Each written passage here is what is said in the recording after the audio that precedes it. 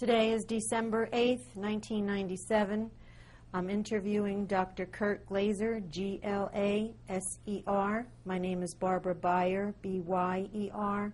We're in Sykesville, Maryland, in the USA, and the interview will be conducted in English. Today is December 8th, 1997. I'm conducting an interview with Dr. Kurt Glaser, G L A G L A S E R. My name is Barbara Byer, B Y E R. We're in Sykesville, Maryland, in the USA, and the interview will be conducted in English.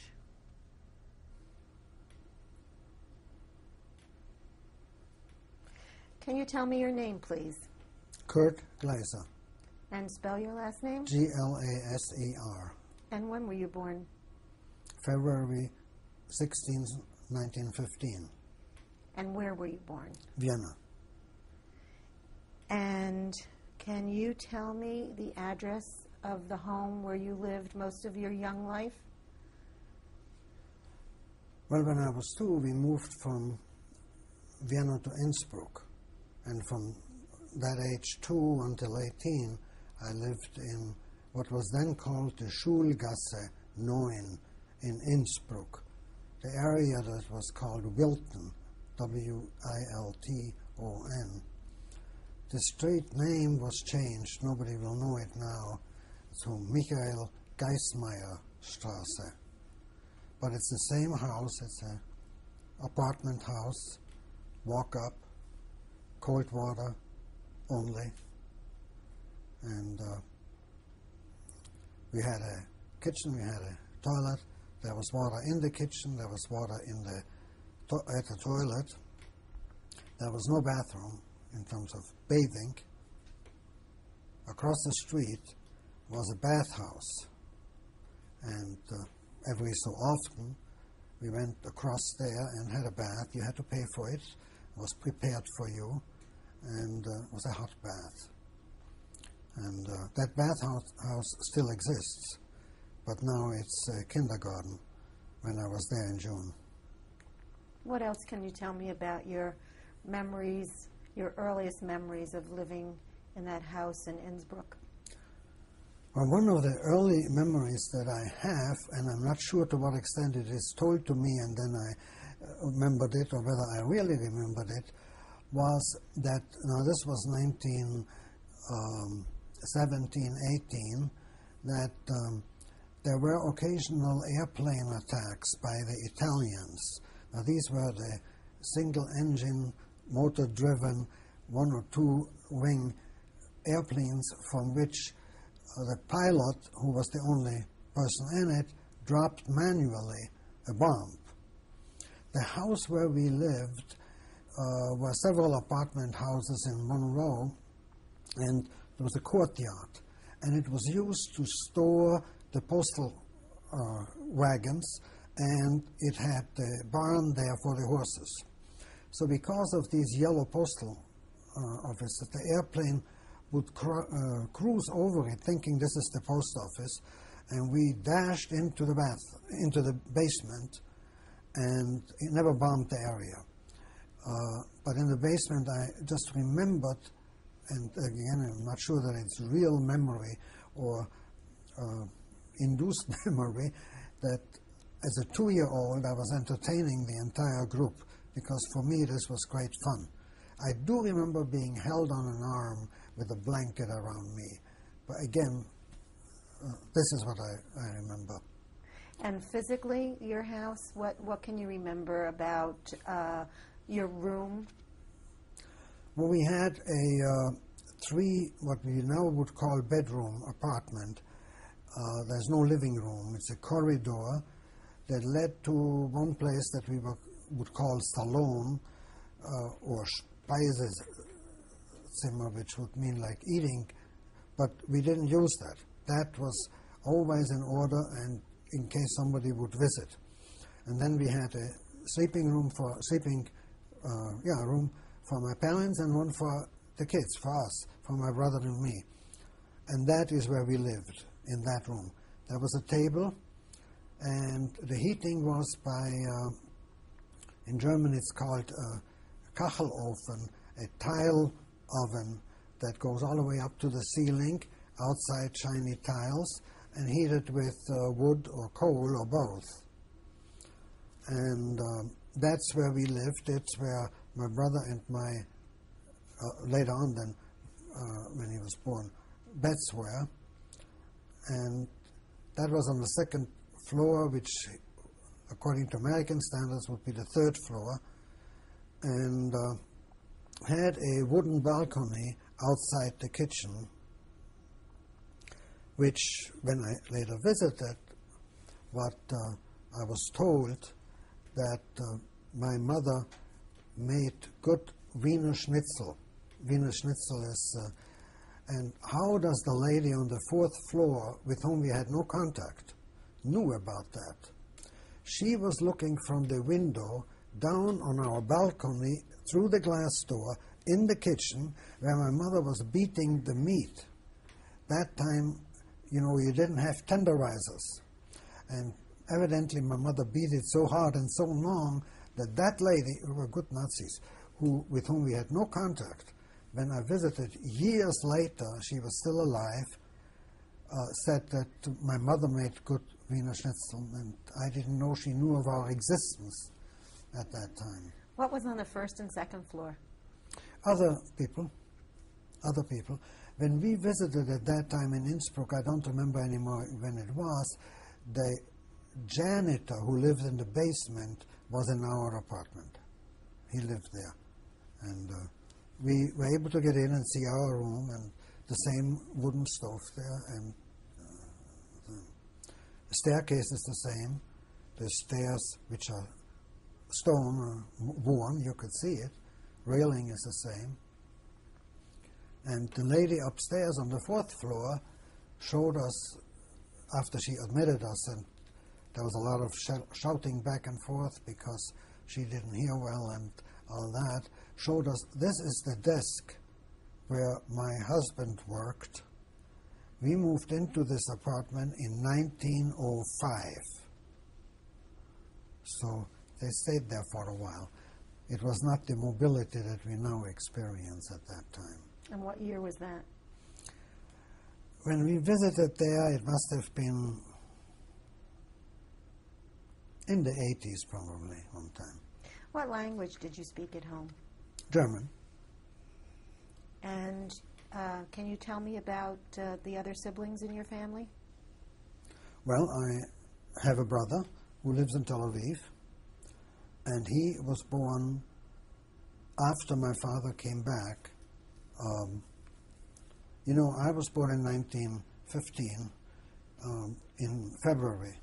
I was conceived in 1914, and my father went into the army, the Austrian army, before I was born. So he never saw me, I never saw him. And he did not come back until 1921. He was prisoner in Siberia through the various camps, Omsk, Tomsk, Irkutsk, um, Savas, no, I don't know. Anyhow, I can tell a separate story about that. But, um, but then um, after my father came back in 1921, uh, my brother was born about less than a year later. Tell me about your brother as a youngster. He, uh, from the beginning, was very weak, didn't eat, and they were wondering about his survival. Uh, I think it had to do with the nutrition that my mother was in during the uh, during her pregnancy. This was uh, after war period in Austria, and uh, I remember him crying and my father walking up and down, up and down the room, carrying him so that he would stop crying, and all the feeding uh, attempts because he wouldn't feed. Uh, however, he did survive. And then he went to school, and um, well, um, he moved with the family with us in 1933 to to Vienna, and uh, I guess that comes later, or would you like for me to hear it now? Just tell me about your brother as a youngster. Um, I think, in terms of maybe family relations, he, of course, was the closer one to my father. He was the one whom my father knew from the beginning, and while he met me when I was six years old. So there was never that close uh, relationship. Uh, How my was brother, my brother wasn't a very good student. He made it, uh, but he was not a very good student. Um, then when um, after, and we can jump now to 1935, or rather not, at that time uh, he was in the gymnasium and not doing very well. There was the catastrophe in my family, and he went out of the gymnasium and went into uh, gardening, learning uh, horticulture, uh, more on a vocational track. How was your relationship with him? I think in general it was good. Uh, for some reason, I remember a scene, and it haunts me, that I must have hit him, and he tumbled and looked at me with big eyes, and I felt terrible sorry why I have done that. Now, what led to it, uh, I don't know, but of course I was older and he was younger, and for some reason that picture of him tumbling back and why did you do this to me or something like this is my eye. But otherwise, it was, I think, a fairly good relationship. Um, what kind of child were you? You just describe your relationship with your brother, but what kind of child were you?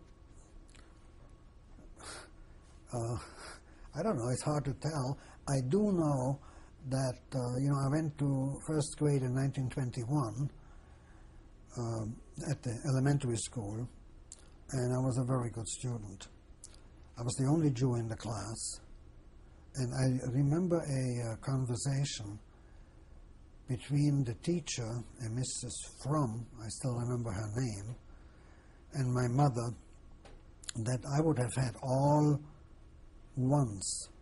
It went one, two, three, four. One is the best. And uh, she said this would be such a source of antagonism by everybody else that she gave me a two in one or two subjects. Uh, I continued to be a good student, and um the elementary school was uh, four or five years, and good students uh, could leave after four years and go to the gymnasium after passing a uh, admission test, whatever that was. And I passed that, and I went to the gymnasium at um, age 10, I guess. Um, do you want to hear about my relationship to the other classmates Oh, in we'll get into that, but what did you enjoy doing? What type of activities did you enjoy? Well, if we are going all the way up to, nin- to 1933, As a child, well, I was 18. I mean, when I was little, I don't remember what I did. can you tell me what your mother's name was? My mother's name? Hedwig, H E D W I G. And her name before she was married? Gans Schiller, G A N S hyphen S C H I L L E R. It was a hyphenated double name, had to do with an earlier adoption of someone in the family. I don't know the details. And where was your mother born? In Lobositz in Czechoslovakia. L O B O S I T Z. And can you tell me your strongest memories of your mother? The strongest memory of my mother. Yeah, I can. Um, as I said, my father was in Siberia as a prisoner of war, And if there was a postcard once or twice a year, that was all we knew. At that time, around 820, 1920 or so, the prisoners began to come back. The Red Cross had a uh, list of who would be on the train. My father was never on the train. The last train in 1921, January, my father was not on the list. And it said, however, this is a double load, and the second load of prisoners was not on the list. We were standing in a crowd like this, next to each other. There was a music, purple, that uh, typical music at that time, playing. A train arrived with soldiers not only hanging out the windows, but sitting on the roof of the cars. And uh, my mother was standing next to me, and my grandmother. And all of a sudden, she screamed, Richard, Richard. That's my father. I, I remember that. So I was six years at that age. I mean, talking about strongest memory, that is a strong memory. And how about your relationship with your mother? How was that? I think it was a good one in general. I think I must have been a fairly well behaved child. As I say, I grew up these six years with mother and grandmother supporting each other, having had practically no peer company. There was some kid living downstairs with whom I, I think occasionally played. And um, I think in general it must have been a pretty good relationship. In Austria, there was a, um, for Christmas, there was a habit that a uh, St. Nicholas type of person would come with presents and a Krampus, that's the devil symbol, with uh, uh, a bunch of twigs for hitting.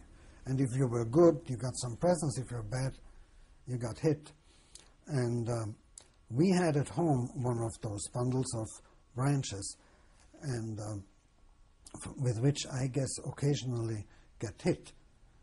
Uh, and uh, I remember saying something that my mother repeated many times. You know, when we had anything left, then we always gave it to a poor child, like we would never leave anything on a plate or so, or any shoes that were outgrown or so, give it to a poor child. And I suggested to her that she gives that whip, that bundle of brands to a poor child. That I remember. Must have been a pretty good relationship. You mentioned your father. Can you tell me his name? Richard Glaser. when was he born? in uh, March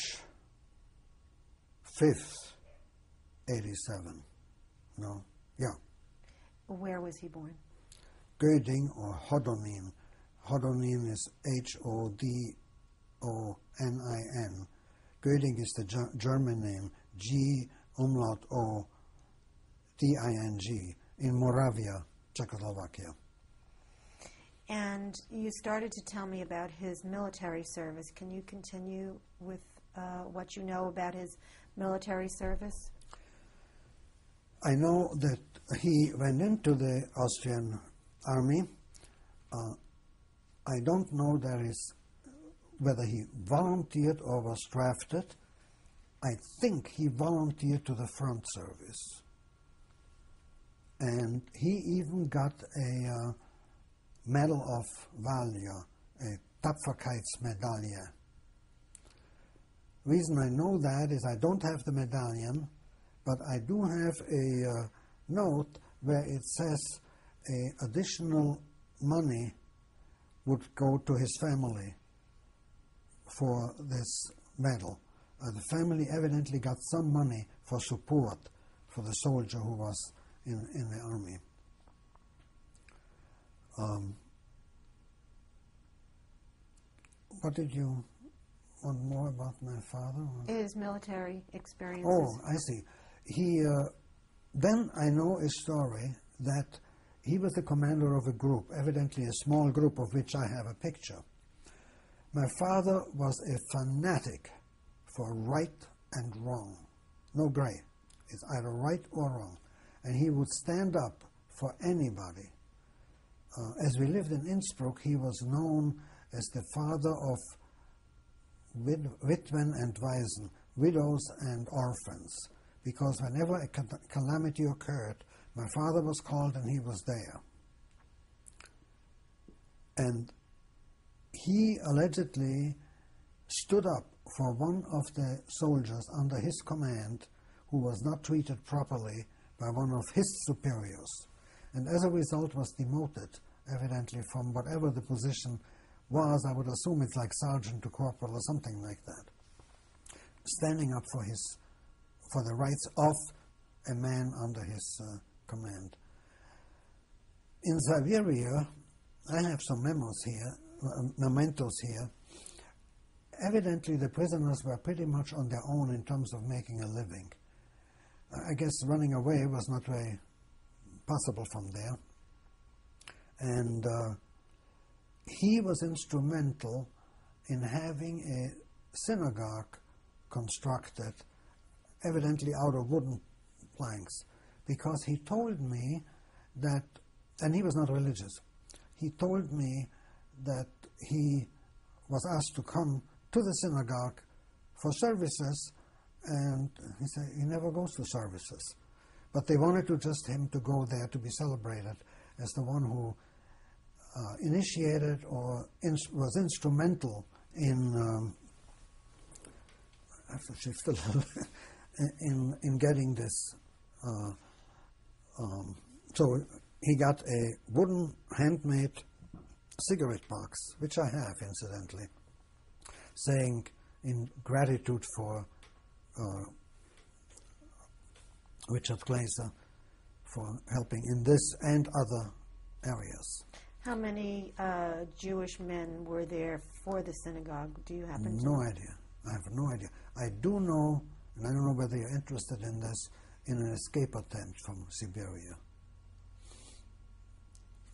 Um, they have saved money. Evidently, they were able to make. I know he made, for instance, shoe polish and other things that seems like a cottage industry. They were able to do that, and uh, they they have saved money and hired a sled and horses and a driver to escape to Vladivostok. Vladivostok is on the east coast of Siberia to escape from there. Then the Russian devaluation of the money came and they had paper in their hand, no money. So that escape did fail. They then began to accumulate gold. Uh, I don't know whether they bought it or one story even is that they were fictitious marriages in order to justify gold chains and stuff like that, and uh, save that to pay for an escape. And that then was not necessary because they were finally shipped to Vladivostok and from Vladivostok around the world to Innsbruck. And how was it for you when he came home? What I remember was that, you know, he was a stranger. He was a stranger. He was a chain smoker who had a terrific cough, uh, smoker's cough to the point where he couldn't catch his breath. like this. And that could go on for several minutes. That I remember. And um, he obviously was struggling to establish some kind of a business. He was, I don't know what his connections were, but the best I can tell is a grain broker. Buy and sell grain. Um, again, as I say, we were pretty much strangers. A few incidents that I remember. When he got angry, he screamed. But I mean, screamed. He never hit me that I remember. Uh, and uh, then I, I don't know, I remember uh, a couple of things on a positive side. One of them was that he had a, his hands were pretty rough from working and all that, but he had a very shiny spot on his back of his hand.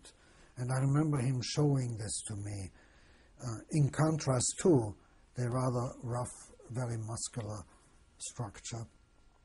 I mean, there was a, a certain amount of. And the other thing I remember was that he told me a story of being in a ski group with the army and skiing down a unknown, very steep area where there was a wall into which they were going to crash. And as I listened as a little boy and he told me that story, before he came to the wall, he woke up. It was a dream. Um, so those are some things that uh, um, I don't think of anything else right now. Um, can you tell me about what you remember of your grandparents? Well, I remember my grandmother who lived with my mother and myself, uh, overweight, very kind lady. And her name? Eugenia, Eugenie, E U G E N I E, I think, Eugenie. Gans Schiller, and then it was shortened to Schiller. And your grandfather? He had died uh, very early, and my mother told me that when he was ill, evidently of heart failure, I think he died in 1912 or 1913, so before I was born, that she, as the girl in the family, there were three other boys, three boys and everything, took care of him. I mean, my grandmother was there, but she physically had to take care of him.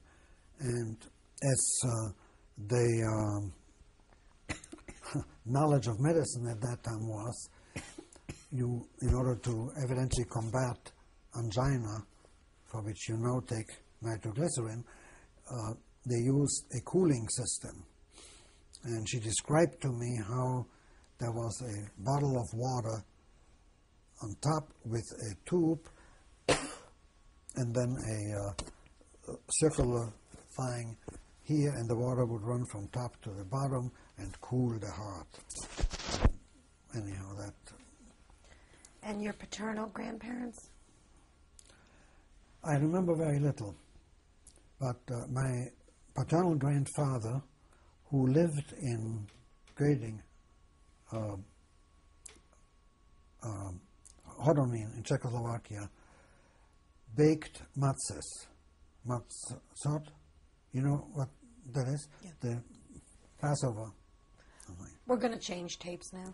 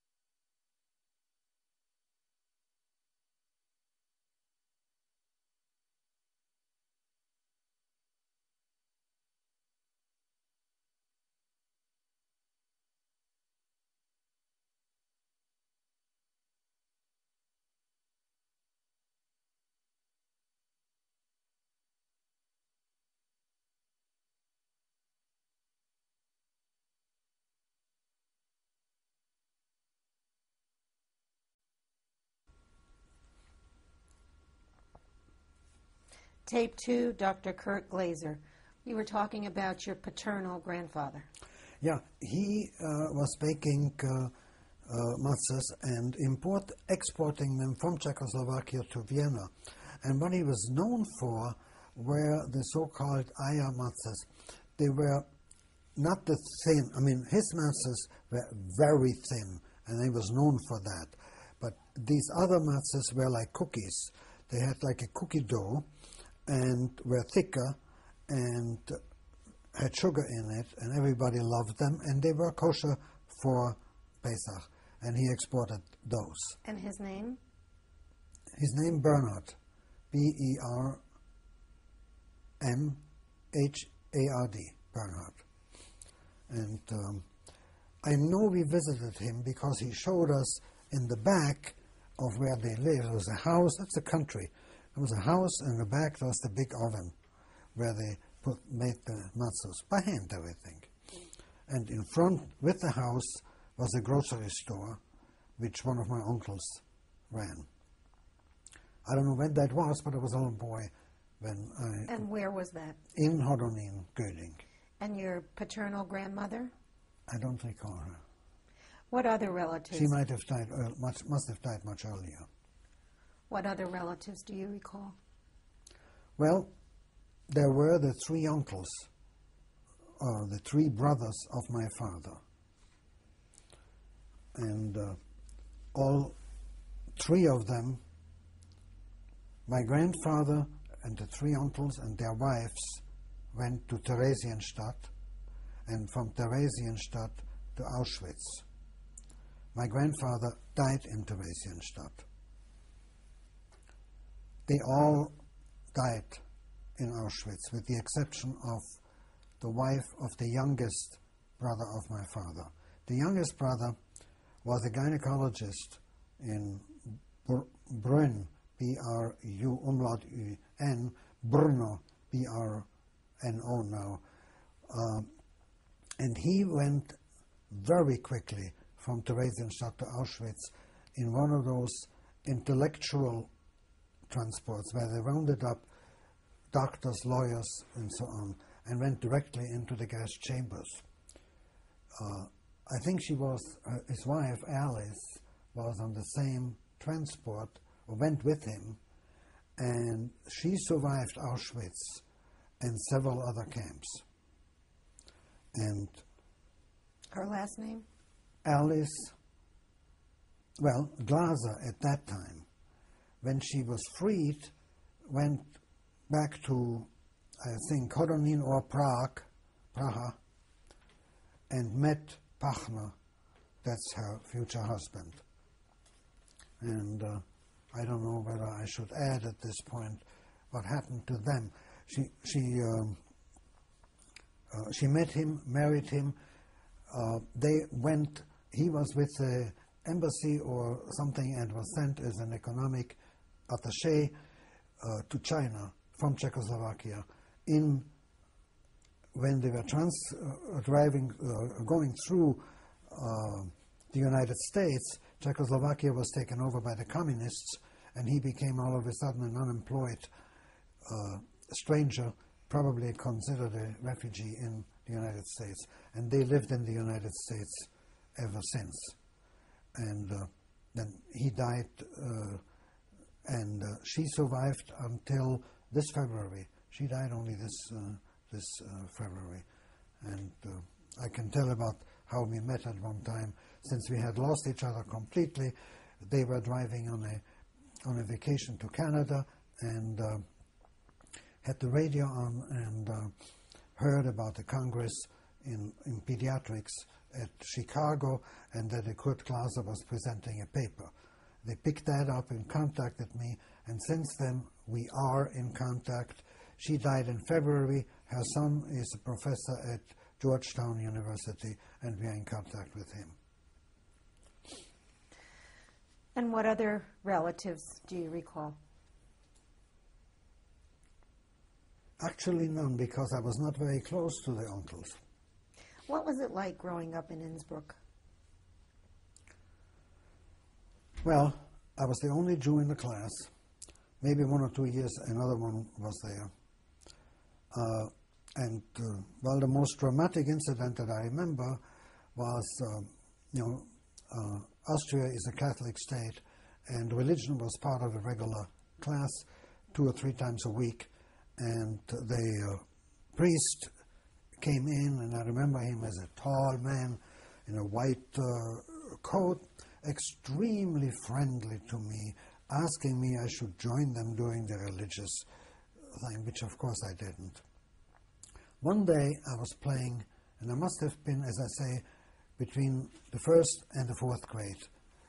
I was playing in the street while the other students were in school for their religious uh, lesson, and when they came out of the school, they went toward me and threw rocks at me, and I had a gash sufficiently to needed stitches. And the reason was that he has told them that the Jews killed Christ, and I was a Jew. So, so much for the relationship with uh, the other students uh, there. What was the Ju- Jewish community in Innsbruck like? The Jewish community uh, consisted about 100 families, about 400 people. They had a little synagogue, which was really uh, what we call the Betstube, in a, in a, in a two-story home, the upper part, uh, like a hall with some benches. And this is where services were held. We were not very religious. We didn't go very frequently. I had my bar mitzvah there by the rabbi who was the only one. There was no cantor. It was, um, and uh, we uh, went to the high holidays when they rented a hall because that's when everybody came and that little room was not a, not adequate. And um, they, uh, we had our religious lessons in the afternoon, two hours a week, and that was pretty much worth nothing.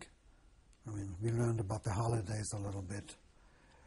I remember that uh, to talk about Palestine also was pretty much taboo because the rabbi had to keep a balance between those uh, people in the community who were Zionists and were dreaming of going to Palestine, and the majority of them who didn't want to make any waves and didn't want anything. So he, whatever his orientation was, he had to uh, keep a very fine line not to offend either one of the sides. So we didn't learn too much.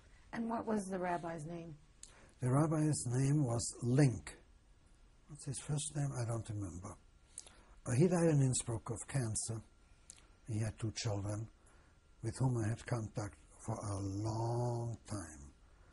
How did your family observe their Judaism? Essentially at the high holidays, and I know that my father must have made significant contributions to the Keren Kayemet, the Jewish National Fund, the Keren Hayesod, which was another Jewish fund. And then there was something at that time which was called a schnorrer. A schnorrer was like a beggar, but it was on a higher level. They traveled from city to city and told their horrible stories, and people gave them food and lodging and money, and then they moved on. And I know whenever such a person came to town, it was my father who received him and who did whatever needed to be done. What do you re- excuse me? What do you recall about celebrating the holidays? I only remember that uh, we went um to, uh, we had Hanukkah with some presents, and at the high holidays, uh, New Year's and Yom Kippur, they rented a hall, and uh, we spent most of the day there. Um, it's pretty much all I, I remember. It was very much also a social event because at that time all of us were out of school and together, and we didn't spend all day in this in that hall for synagogue.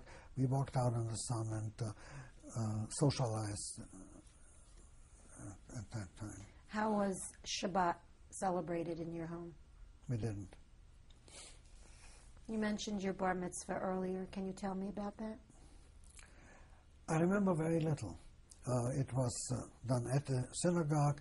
I had to learn the Hebrew, I don't think I knew what I was talking about. It was mechanical learning.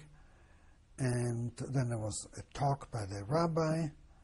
And then there was a celebration in our house where people were invited. Who was there? Hmm? Who was there? I don't. The apartment was so small, couldn't have been a big crowd, but it was crowded. I don't don't remember. Yeah, I don't remember whether anybody came from out of town or so.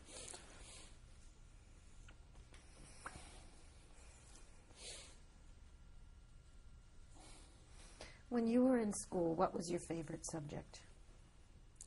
I was interested in science and math. Latin was my my downfall. No matter what I did, Latin, I mean, our professor, whom I revered because of his attitude, his correctness, and so, Rohracher was his name. Uh, he taught Latin for I don't know how many years we went there, maybe five years or so. Horrible. And German. And uh, I remember my difficulty that in every written test I failed. And uh, he knew that more or less I know what was going on, but for some reason, and otherwise I was a very good student. So he said he would give me verbal tests. And he had me, while he was talk, uh, questioning a student, would suddenly turn to me, Glaser, and ask me. And I knew the answers. And one time I had to recite something and I stood up.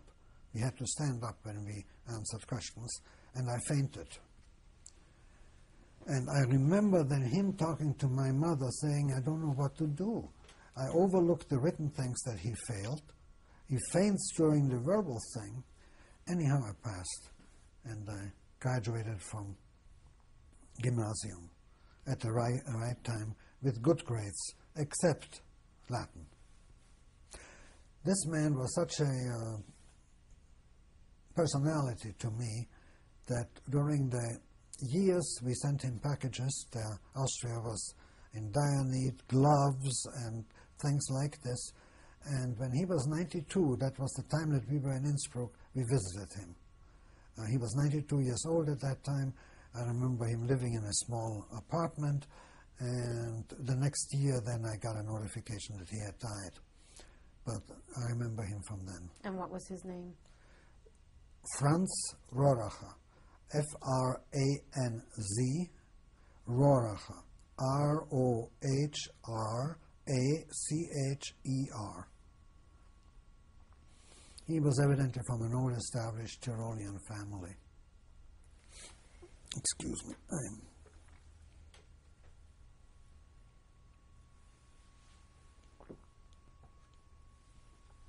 Who were your friends in school? in school among the Gentiles, none. There was one Jew in the, in the class, and I don't remember. I don't know what happened to him, and I know he was not there all the time. Whether they moved out of town, so I really didn't have any any friends in school.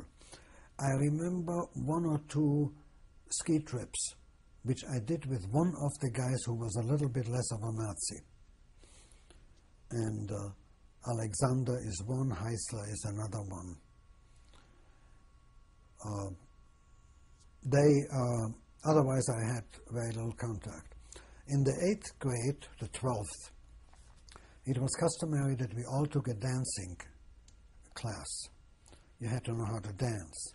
And that was a private enterprise, and we had to pay for it, but everybody almost had to do it. And the boys told the girls not to dance with the Jew. However, they must have danced because I have a picture that they, one or two danced. Clearly, that dancing class was not fun. Aside from the idea that, of course, the boys were on this side and the girls on this side, and the teacher had to push them together, uh, I mean, that is normal teenage behavior then, not now. I mean, now at age five, they dance with each other. And uh, However, it was very, very uncomfortable. That my social contacts were with the Jewish community. So, who was your best friend in the Jewish community? I think probably a fellow by the name of Walter Berger. Walter, W A L T E R, Berger, B E R G E R. His father is one of the Zionists in Innsbruck who was killed during the Kristallnacht and for whom there is a monument now in Innsbruck. Uh, he sort of was my assistant in the youth group. You know, I started the youth group when I was, must have been about 15 and a half, 16. And uh, do you want to hear about that youth group? Uh, uh, there was nothing going on for the children of that age. And what happened is that the parents on Sunday or Saturday, Sunday, I think, they went to the cafe to socialize, maybe play cards, have coffee and cake, read the newspaper. The cafes in Innsbruck had newspapers from all over the world in all languages. And the kids had to be, go with them and be quiet and sit there. Now they got something to drink and they got cake and all that, but it wasn't really fun. So I organized a youth group to uh, do some activities with them. Now my father was Zionist, Mr. Berger was Zionist, Mr. Adler was Zionist, and I guess the stimulation came from them at that time. I couldn't say that this is a Zionist group because no, none of the parents uh, would have allowed them to come, those that owned the stores and were anti-Zionist. Excuse me. Um, so we just had a youth group, and on Sundays we went outing in the mountains. I have pictures from skiing and pictures from hiking, and of course it was more fun than to sitting in the cafe, even with a good piece of sachertorte cake. Uh, they, uh, we we uh, learned songs, and I have to add here that I cannot carry a song to the point where I was excused from singing at school, which was an obligatory subject because I was disrupting the class. I was so out of tone. However, I knew the text of the, I learned the text of the Hebrew songs, and a girl there, a younger one of the, knew how to play the piano, and between her playing the piano and singing and my knowing the text, we taught the kids Hebrew songs. How that many- girl, by the way, lives in Tel Aviv, uh, in uh, near Tel Aviv now. How many how many children were in that youth group? Maybe about 15, 20. That was about the population. And as we talked about Palestine and the history of the Jews and so on, during one of the sessions, and I think that's sort of dramatic enough for me to remember, one of the girls raised her hand, very disciplined, you know, at that time, and said, Kurt, I want to say something. If we think this way, then we are Zionists. She was the daughter of one of the two owners of the main department store in Innsbruck, Bauer and Schwarz. Now it's the Kaufhaus Tirol, still there. That was sort of a uh, trigger, and I said yes.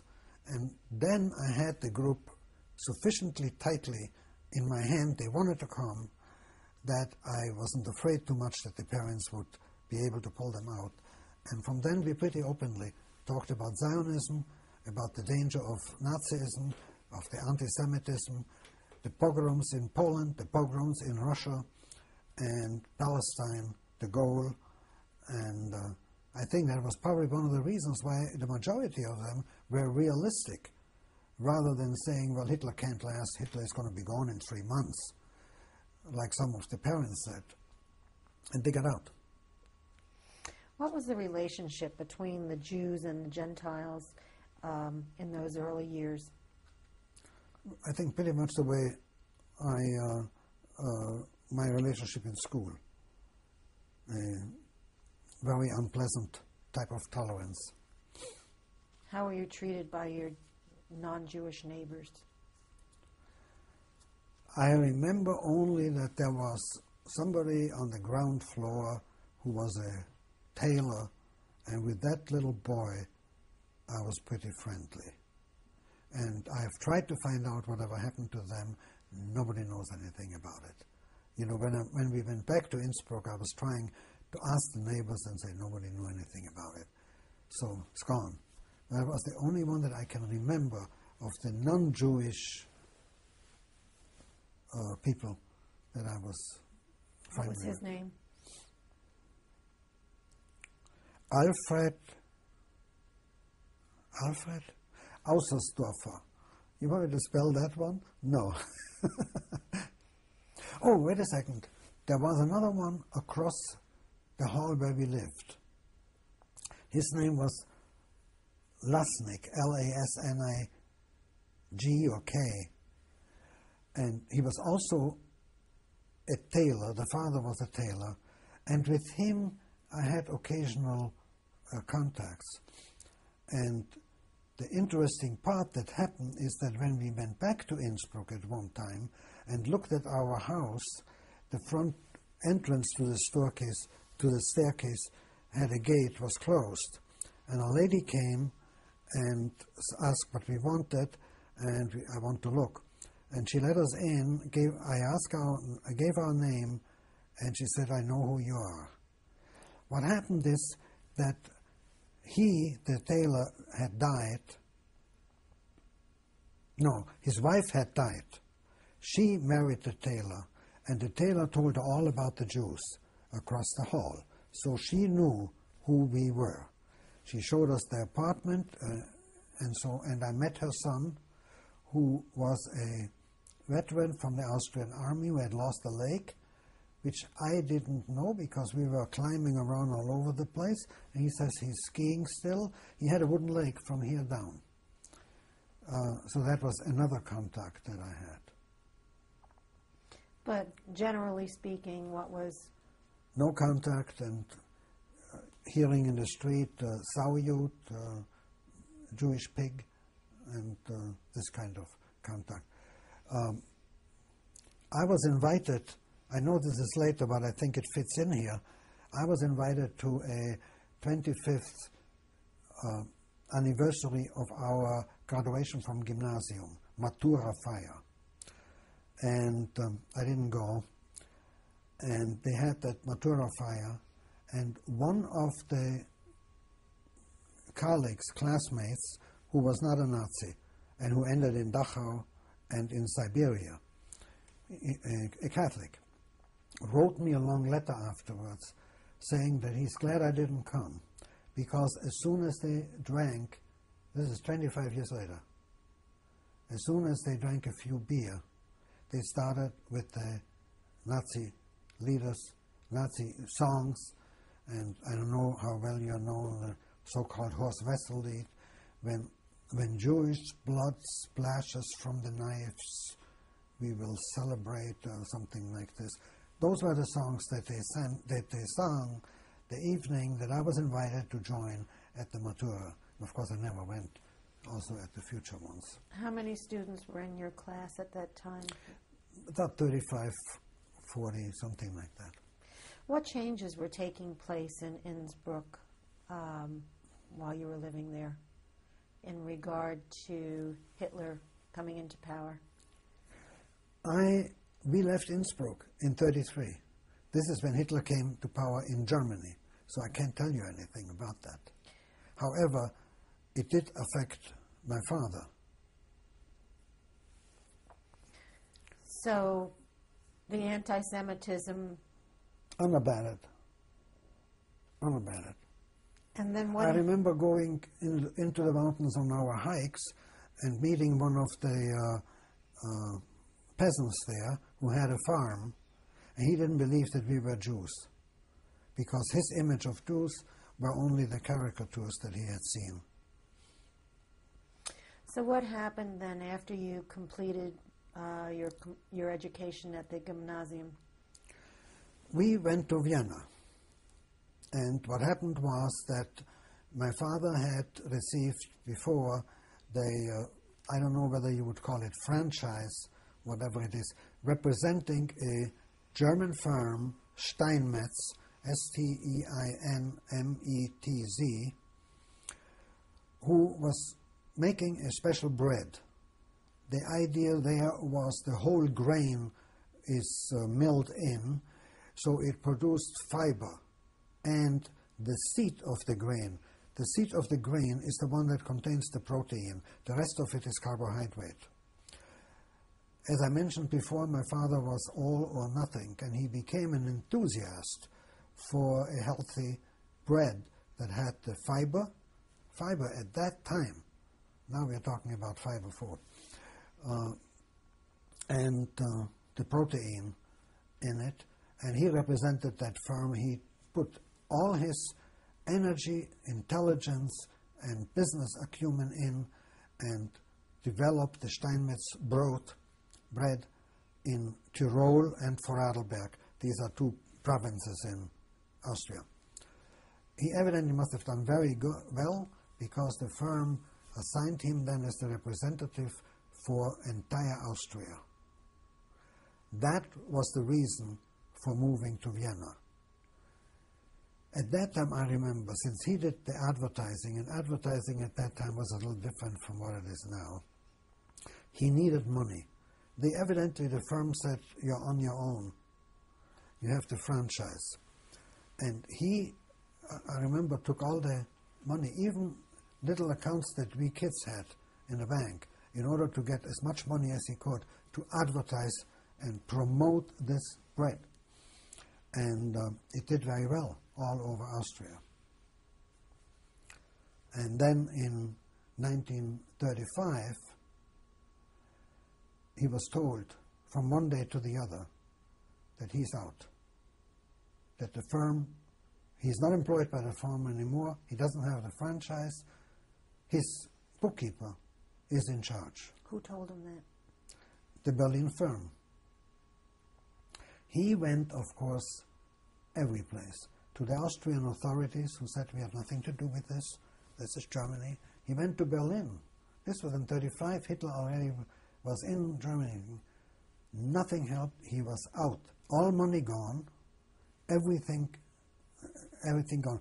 As I said, at that time, we lived in that nice villa of which I have a, have a picture. What was the address? Lannerstrasse, L-A-N-N-E-R Street, um, 14 in Vienna in the 19th district. This is where we visited and we found the house and the lady that was there. Um, all that was gone, all of a sudden. He must have done very well because he even had a car with a chauffeur. And from one day to the other, as I say, this was gone. He, on Yom Kippur of 1935, went for another talk with his bookkeeper, allegedly to see whether something could be done to have him partner or something. And at that time, story goes that the bookkeeper raised his cane against him, and my father emptied a pistol in him completely, the entire magazine. And uh, he was then stoned by the people and then arrested. And Who arrested him? the police. I mean, it was all on the street, open. It must have been an unbelievable rage. And I described before my father as one for right and wrong, and the father of widows and orphans. And I mean, he he had many other activities in Innsbruck. What was the bookkeeper's name? Apfel. A P. I think two P's and L E L E Apfel. E L. We're going to change tapes now.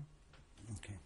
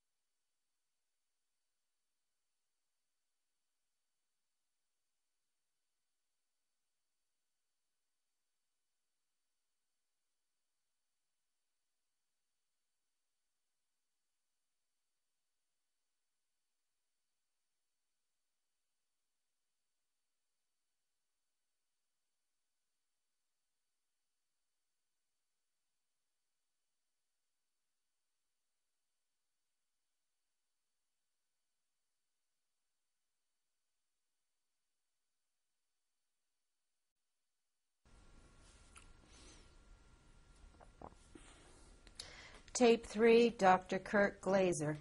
When we left off, you were telling me the name of the bookkeeper. Could you repeat that again, please? Uh, his name was Apfel, like an apple, you know.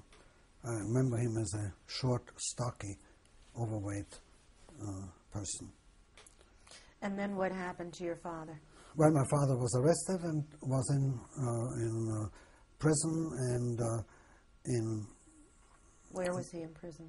In in, in Vienna, in Vienna, and uh, the legal process started. I don't know too much about that because uh, not only that I was preoccupied with surviving and with my medical studies, but kids were not that much left into details on on these things. Just like I was not really too involved in my father's business. Nowadays, my kids know all about what I'm doing and what I'm not doing, and uh, so it's different. How did you decide that you wanted to go into medicine? When I was a kid, I wanted to work with children, either as a teacher or as a children's doctor. And children's doctor I became. How, However, there was a lot of luck, luck in between. how was it for uh, Jewish students who wanted to go into medicine? There was a very clear division between, particularly in anatomy, which was the main subject in the preclinical uh, years. Nowadays, they spend half a year on it. At that time, we spent two years in all the details. And there were two uh, faculties. One was the Nazi faculty, and the other one was the faculty where there were Jews and socialists. And the two did not communicate. The famous textbook written at that time was by one of the socialists on that side. However, interesting enough, the chief of the other of the other faculty then wrote a very well-known textbook in anatomy and became a Nazi of whom there are pictures with the swastika in the Nazi uniform, and there's a lot of controversy at this point whether this textbook should be used. And his And there were articles in the in the newspapers, England, America, and so on. His name was Pernkopf, P-E-R-N-K-O-P-F, Pernkopf, a real violent Nazi. Um, and people are using his textbook, and they say, should we use his textbook, which was obtained from the victims of concentration camps and other Jews killed in Vienna. So that is one of the controversies, one of the things that's in the papers now. Um, anyhow, so I, of course, was on that in that faculty, and I did all right. I had medicine, uh, my, my pre-medical uh, courses, and uh, um, 33, 34, 34, 35. 35, I was supposed to have my anatomy test, the most dreaded test. The day before, my father killed the bookkeeper. Next, or two days before, next day I said, I have to give up medicine, I have no support, this is the end. I even stopped studying for these last maybe two days. On the morning of my anatomy test, a fellow student appears and rings our bell and says, You're going to the anatomy test. And I said, No, I'm finished. You're going. And he took me.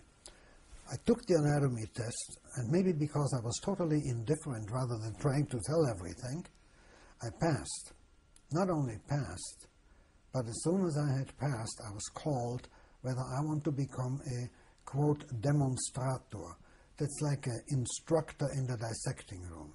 Would I? Here is some income, a small stipend, tuition free, all of a sudden. Great. This was done by the chief. Then, Where were you in school at this time? in Vienna, And what school was it? medical school, medical school of the University of Vienna. Yeah? And then, follow, as the, examin, the examinations were verbal at that point with the chief of the department who handled a specimen and told us, asked us to talk about them, or uh, had us dissect and he watched us and so. The second one was selected and also called in and said, Would you like to be a demonstrator? And he also accepted. Then the assistant came to the chief, whispered in his ear, You have selected two Jews, and there are only three positions. So the third person was selected was a non Jew. I was then a demonstrator. I did very well. I uh, gave some private lessons in anatomy. There all kind of rumors. Unless you take lessons with Glaser, you don't pass the test. Uh, I'm not the only instructor, but anyhow, I was able to support myself pretty much because my father was in prison. My mother and my little brother went to Linz. Linz is a town in Austria. Incidentally, Hitler was born there and lived with one of her brothers. She worked. What and my brother then went into agriculture training. Yeah. What was happening in Austria at that time, um, in Vienna specifically, with Hitler's rise to power? Only the anti Semitism was growing, and the assurance that Hitler will unite Austria with Germany. How did the anti Semitism manifest itself? In the usual uh, things, um, well, I would have to go back. I had a street fight with three Nazis, but that was in Innsbruck still, that just provoked us uh, and uh, wanted to have, uh, uh, called us names. My friend and I were walking. There were three that were following us, and then at a certain place they went in front of us, blocked us, and uh, he uh, and provoked us. I had a notion he's going to hit me. I had my hand here like this, and my hand, other hand in the pocket, and he hit, and I hit him back, and I had in my pocket a wire uh, around my fingers with the points out, and that I got into his head. So he was bleeding. Put that quickly back into my pocket. Now we are going to the police. You see, once there's trouble with them, then they go to the police. So we went to the police, and from the police building, the other guy, again being provoked. Now they're provoked. They were already at the door. He took. He had a stick, and he hit him over the head, and had good bumps coming out. Uh, anyhow, that was street fight. Even got into a newspaper in a little article.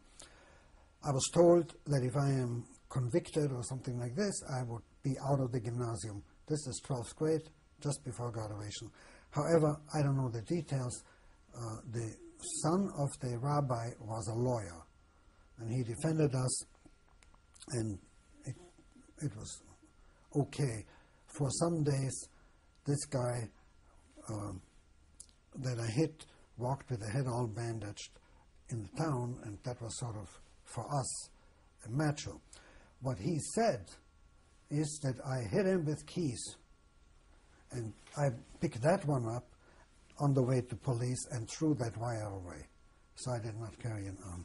But I'm glad he told, he said that I hit him with some, you know, you can carry keys like this. That sort thing. Okay, well, that's an incident with the Nazis, and it didn't get any better uh, during the time that we were in Vienna, except we were all absorbed with our studies. There was only one thing to do morning study and so on. Where were Until you? Hitler came. You said your mother and your brother moved to Linz. Yeah. And where were you living then? Uh, rented a room with the family here, rented a room for the family there.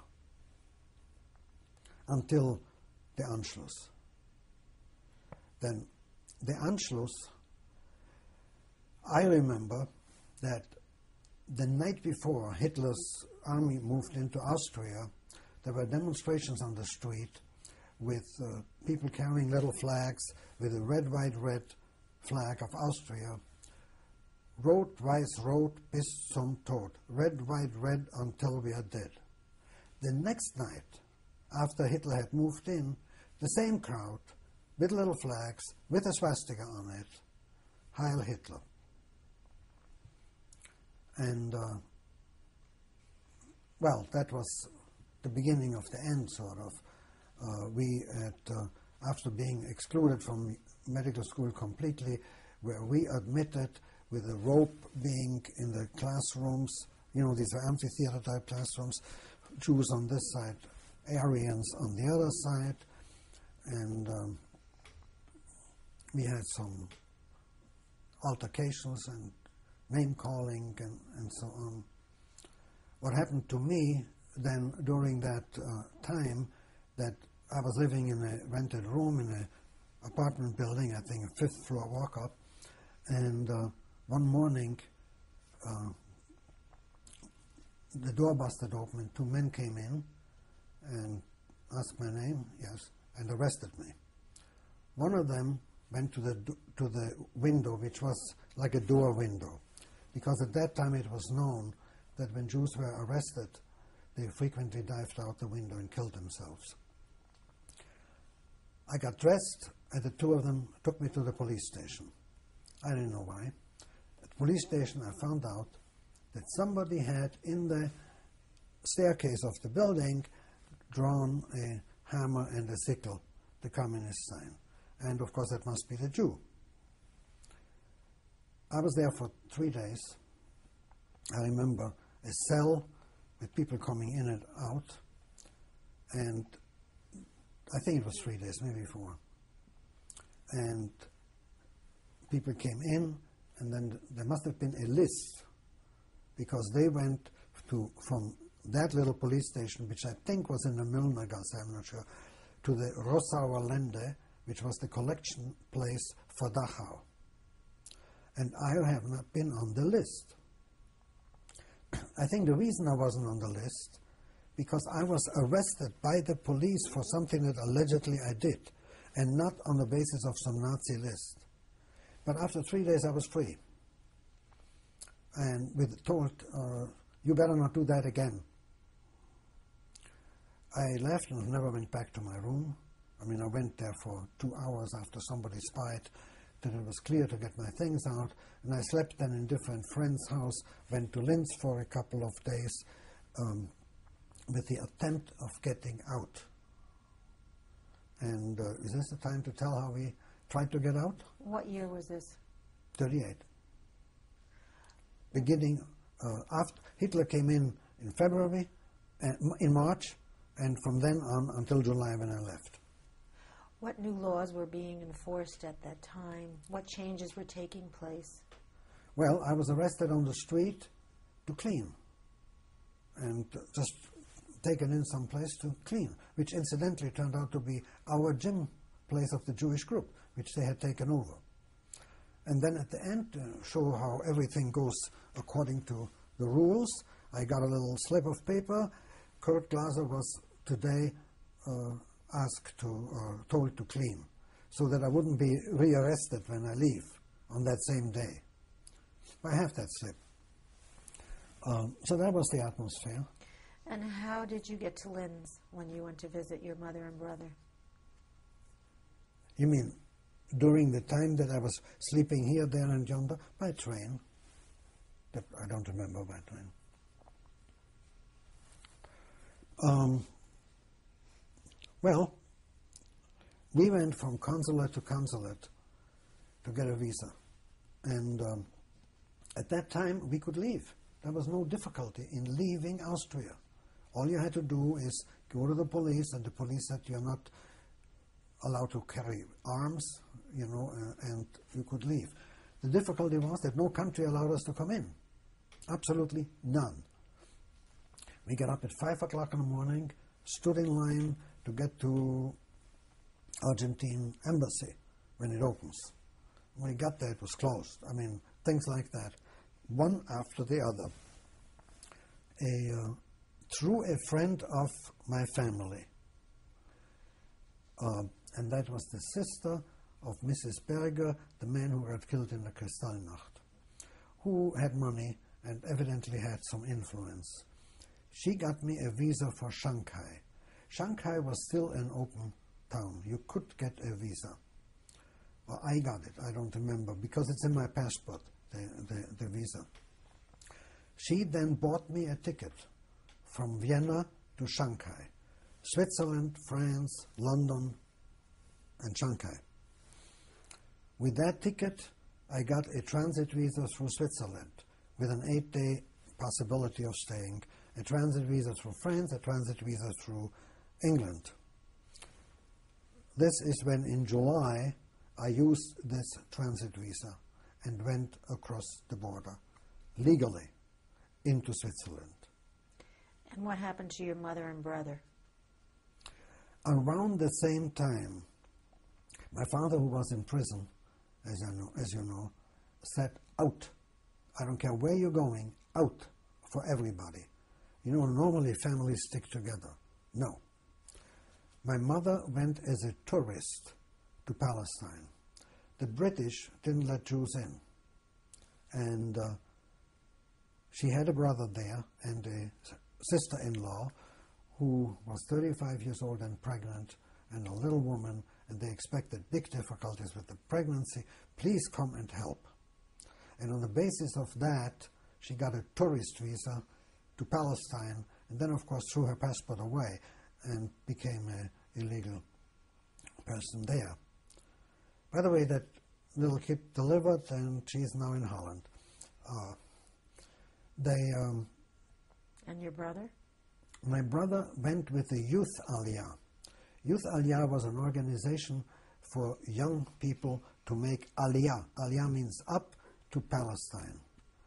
And he went into a transport on the basis of our Zionist connections because it was very difficult. Everybody wanted to get in.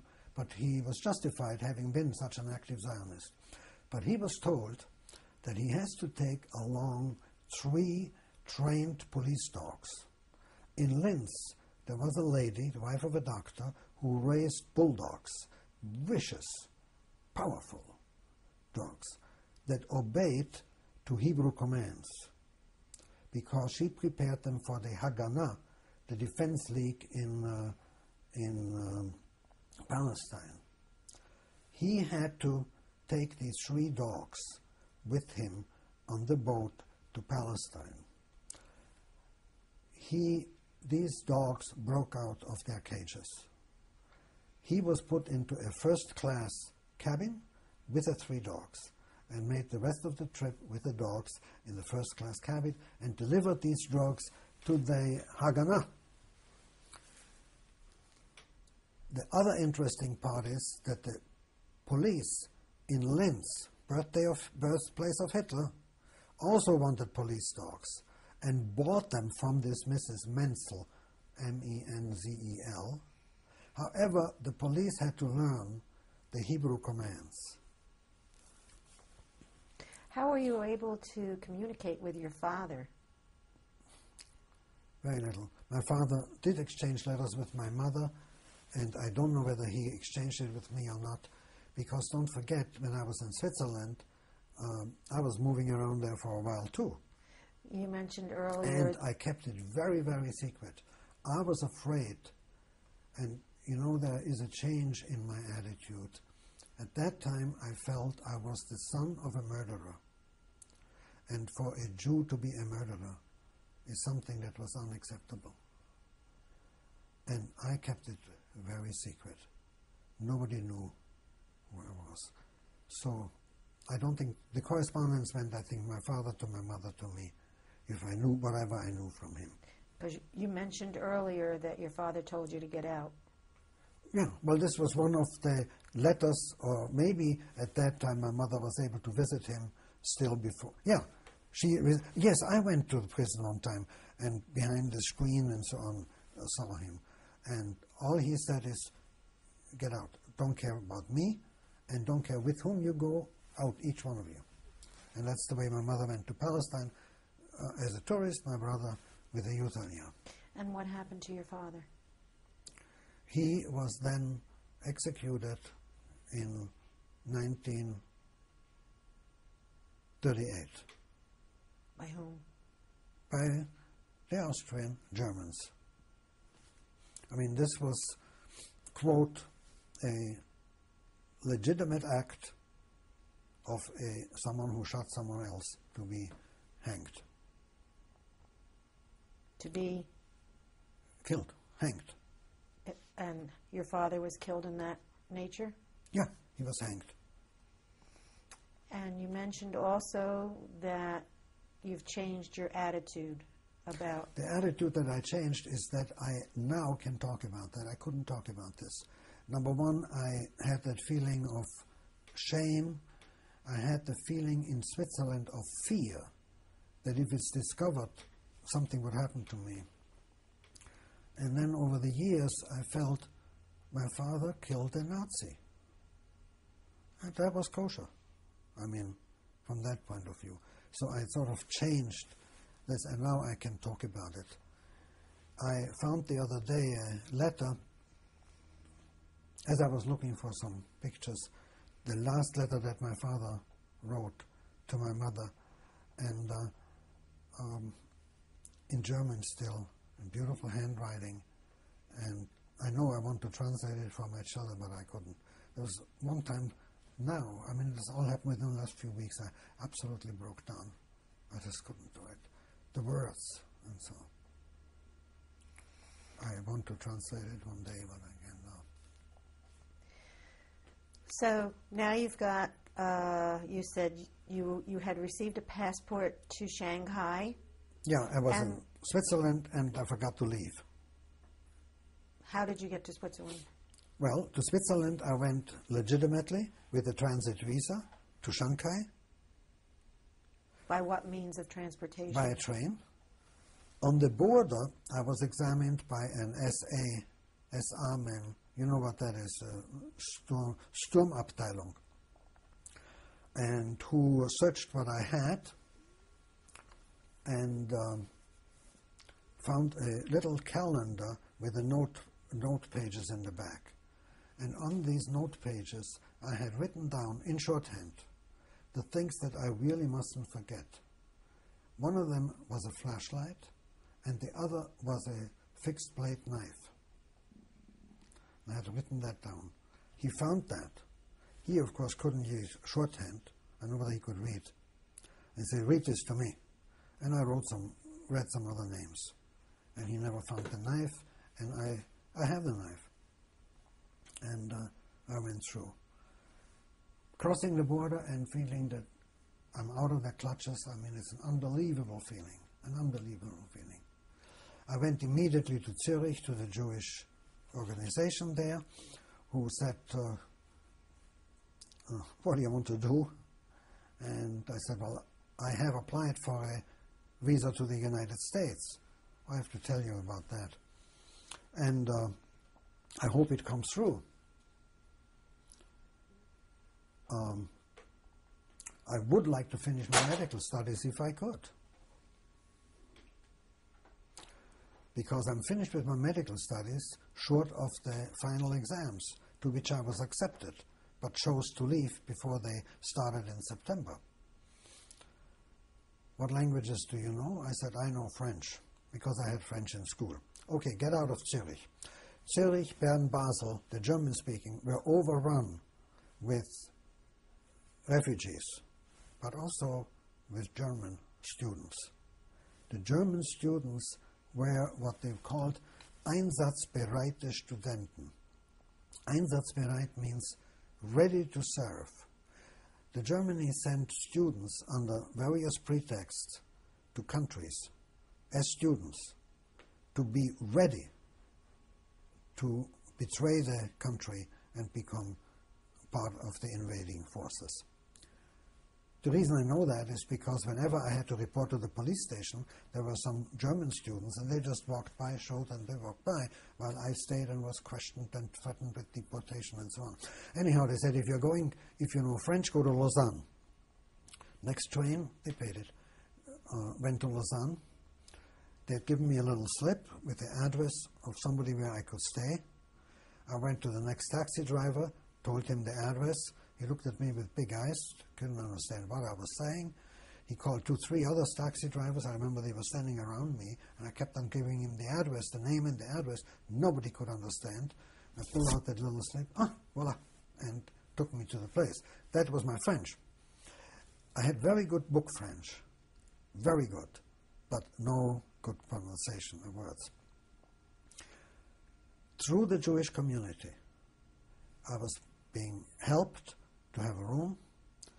I was able to register at the faculty, uh, medical faculty, to take one year of medical studies, the last year, then take the final exams, write a thesis, and get a doctorate. And what school was that? University of Lausanne Medical School. And the Jewish community was fabulous. They uh, also had a system where they invited us for a meal once a week to different families. So we had one good meal because they knew what we were eating on our money. Um, What did you know about what was going on in Austria and other Eastern European countries at that time? very little except for one thing that I won't forget. I was at dinner at one of these families. The, the meal was in the middle of the day. And they had a guest. And the guest was a French army officer, evidently a high officer. And I heard their conversation. The conversation was the totally impregnable Maginot Line. And I couldn't help. Why didn't they ask me? it's ridiculous because at that time I felt the French are not ready for this kind of war machinery that Hitler had. And of course, he went just around through Belgium into France. Didn't bother with the Maginot Line. I mean, I remember that as a thing. Otherwise, I studied, studied, and studied. Every so often, I had to report to the police, and uh, I still haven't left. I mean, after all, I had an eight day transit visa. I was a student. They were suspecting me of working. Um, finally, I was told at one of those points, you're going to be deported. And it was a friendly police officer. When? Where? You, you can tell them where you want to be deported. I said, France. They will take you to the border, the French won't take you. Then they will take you to the German border, and they have to take you. When will I be deported? Monday. So Monday I disappeared and uh, came back later in the evening and yelled up to the uh, woman where I stayed, the family, were they here? Yeah, they were here. Are they gone? Okay. They came and they didn't find me and didn't make any thorough, thorough search. I think there was this ambivalence among people, you know, just like that policeman at the counter told me when I was going to be arrested and deported. What was this lady's name in Lausanne where you were I don't remember. You That one I don't remember. I remember one that I stayed at another time because I didn't stay at the same place for some reason. And her name was Wyss, W Y S S. you also mentioned earlier that uh, you told someone you wanted to get to the United States. You were trying Who to. won what? You told someone earlier. You you told me that you told someone that you wanted to get to the United States when you arrived in Switzerland, Yeah. and you said, "I'll tell you that story." Oh, later." yes. When I was in Vienna and applying at all the consulates, uh, Argentine, Chile, uh, places I didn't know, and all in vain, I also went to the American Embassy. And I got the forms, and I filled out the forms, and I brought them back, and that's a picture I will not forget. I was let in, and then the man, whoever it was, opened the door and said, Put it in there. There was a conference room with a huge table full with applications on the floor and on top, and I threw mine in. That was my application. We're going to change tapes.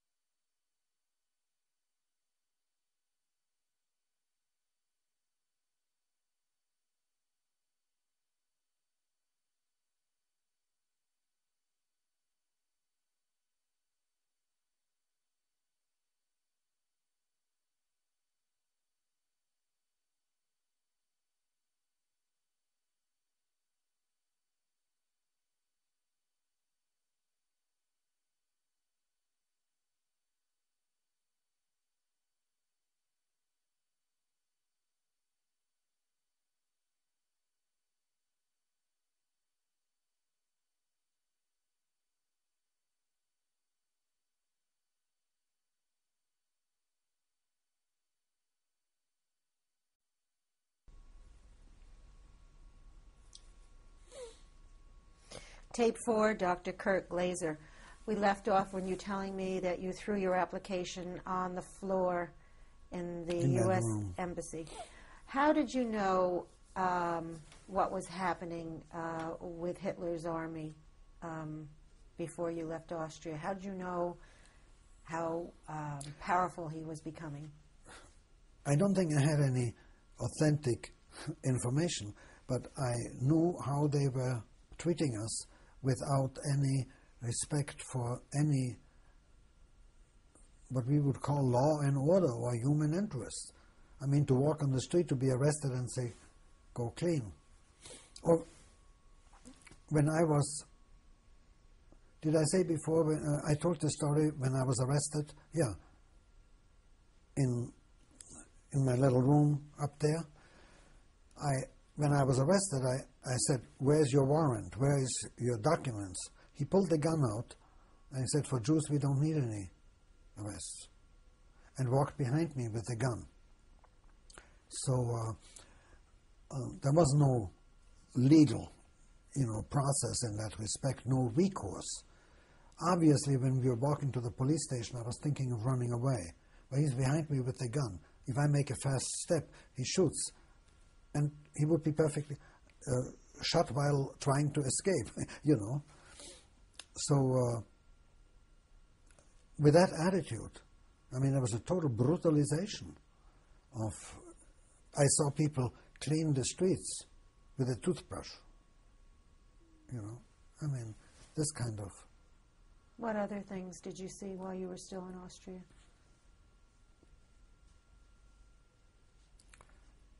I really, I don't think I can remember. I mean, I was totally absorbed with uh, survival, visa. Um,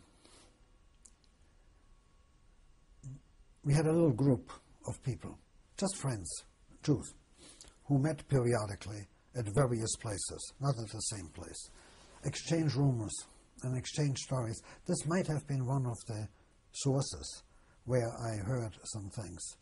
And there's a little byline to that that then I left for Switzerland, and this group of a few friends was joined by my wife, uh, Suzanne. And when she left for Switzerland, they said, when you go to Switzerland, look up Kurt Glaser. We don't know where he is, but look up. You know, it's a small country, five million people. And uh, she got in touch with me. And uh, that was one of the contacts. Uh, and, uh, well, as you know, later on we married. And So the first time when I met her was part of my Zionist activities. Uh, can I go back for a moment there? When I was a medical student, uh, after 33, I moved to, to Vienna, was a medical student. I wasn't active anymore in the movement in terms of daily, me- uh, weekly meetings. I was too busy. However, being a medical student, I was, uh, I would say, more civilized than some of the youth movement people who insisted on walking in short pants and open shirts and so. And I was asked to contact the chairman of the Zionist organization in a in the 19th district, Döbling, in Vienna, for permission to start a youth group there. So I went to visit this man in his apartment, and that was Professor Stein, the father of Susie.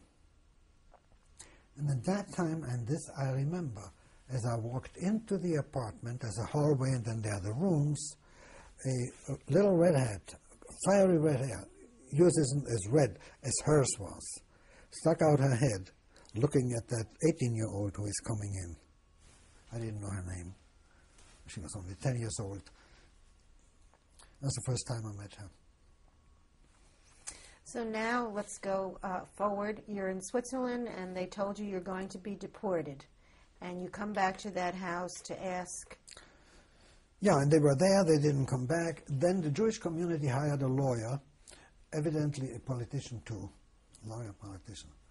And he went actually to Bern for me, that would be equivalent to Washington here, and pleaded, I don't know whether it was before Congress people, like, or whether it was in, in court. I think it was in court. And the court said, this guy cheated. He came in on a transit visa and he stayed. And the lawyer evidently told them, yes. What else would, what would you have done if you had to get out? I got permission to stay until the 30th of September. And then on the 31st of August, I was able to leave. And we come to that.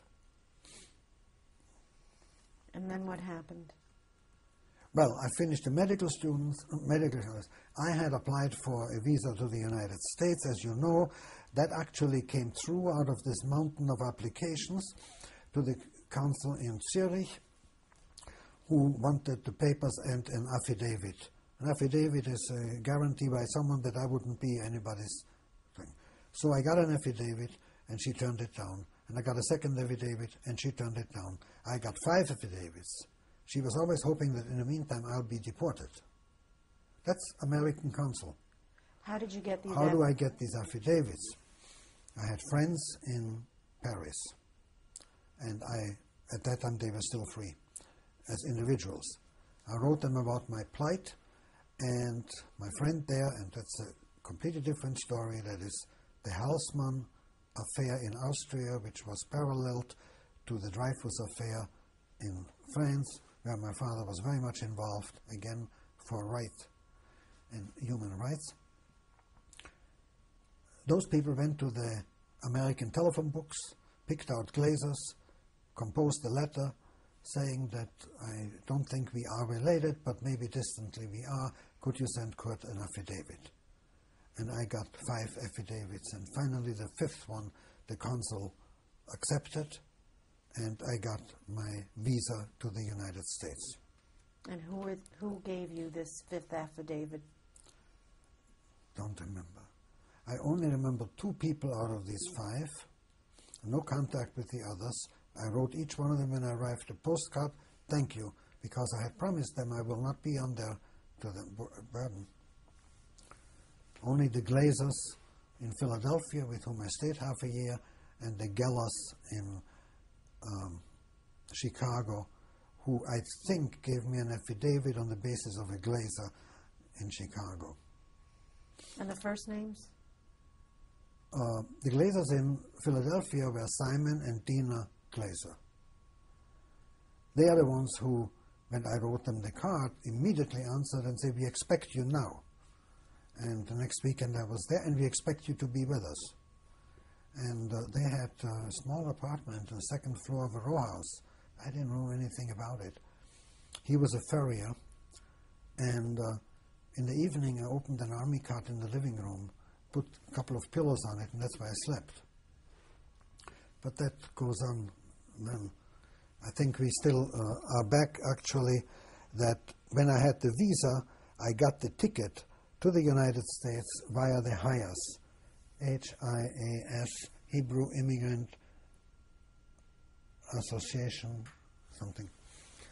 And that ticket was for the uh, French line, the uh, de Grasse from the French line, and uh, that was supposed to leave on the uh, 9th of September. And uh, when it, uh, so I had to decide am I going to stay in Switzerland and wait until the boat goes and then go, and possibly be stationed for the rest of the war in Switzerland, marooned as an enemy, German passport, or do I uh, leave now and be closer to the boat in a potentially hostile country like France? This is when I decided I will do the latter. And on the 31st of August, I went Lausanne, Geneva, Geneva night train to Paris. That night, Hitler invaded Poland. Three days later, France declared war on Hitler because they had a non aggression pact with Poland. Therefore, I, with a German passport in a country at war with Germany, became an enemy alien. Um, I, on the 6th I think, on the 6th of September, rumor, you know, we met people. Rumor went around that next day all the aliens will be arrested. And that Le Havre, which is the town that I went from Paris, where the ship would leave, will no longer be an open port. All boats, if any, will leave from uh, um, Bordeaux. So, next morning, five o'clock, I remember, went to the railroad station, got myself one of those hand carts with my suitcases, went to the railroad, and went in a train with a train to uh, Bordeaux. That was some train. It stopped at every village picking up recruits. Took 24 hours or something like this. Was there a time on the train where you were in a dangerous situation? No, no. France was still not occupied by the Germans. They picked up recruits. It was. Um, I arrived in Bordeaux, and uh, do you want me to jump to that, or No. What papers were necessary for you to be carrying at this time? uh, actually my passport? And I still had a transit visa through France on the way to Shanghai. Whether that was, I don't know. At that time, there uh, was no difficulty. Later on, the difficulty came. I came to Bordeaux and put my suitcases down and went to the window. I had to do something with my ticket. Don't know what it was. And came back to the suitcases, and there were two typical detectives coat, collar up, head down. And they had looked at the labels of my suitcases and said, What nationality? I say, Austrian. Austria doesn't exist anymore. You're German. You're arrested. They arrested me. They turned me over to a soldier, a young man, and my French was fluent. I had passed my exams in French in Lausanne and all that. Um, so we started to talk while he was taking me to a garage. Garage, part of the garage was where, we, where they assembled us. And he said, he was in uniform. He showed me his feet. He had sandals. They don't even have boots for us. A French soldier saying that, to me, that was significant. Why was that significant? This can't stand up to the Germans. You know, I mean, this was just one of the things. I went in, and there was registration, and the registration was done by a little, extremely filthy, and I mean black man, soldier, older man, uh, middle aged man. Next to him, his wife. And he took down my name and all that. While he was doing that, his wife, with a bottle in his hand, fed him wine or liquor. He was totally drunk. We then went from that garage to a wine cellar, an abandoned wine cellar. We were each given a handful of straw and what they called a blanket, but it was not woven.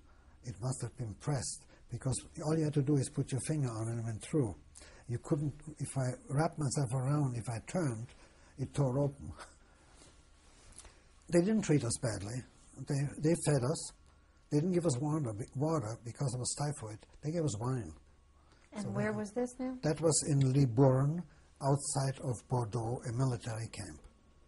Did or that- near a military. what was the name of the camp? Libourne, L I B O U R N E, Libourne.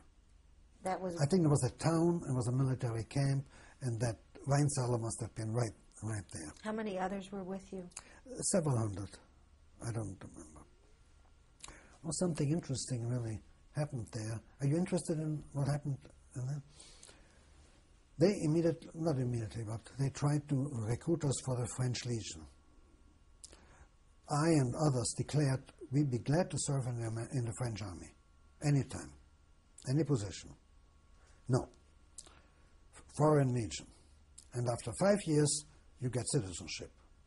Well, you know, you read all kind of things about the Foreign Legion, so we were not ignorant, although these were novels that we read, but nevertheless, I met, among others, a uh, Czech fisherman who was also arrested. And I said, How come you're here? He's a fisherman. How long are you in, in France? I don't know how many years. Family. Why are you arrested? I'm not a citizen. How come? I served in the Foreign Legion. How long? 15 years. Oops. No Foreign Legion for me under these kind of circumstances. But these were things that we got by talking to people. So, what was your ultimate plan? America. I had a ticket. I had, when I was arrested, I was able to write three postcards. I wrote one to the French line in Le Havre. I am at this camp. If the ship comes, let me know. By the way, my ship, the De Grasse, that was supposed to leave on the 9th, uh, was on the way from New York.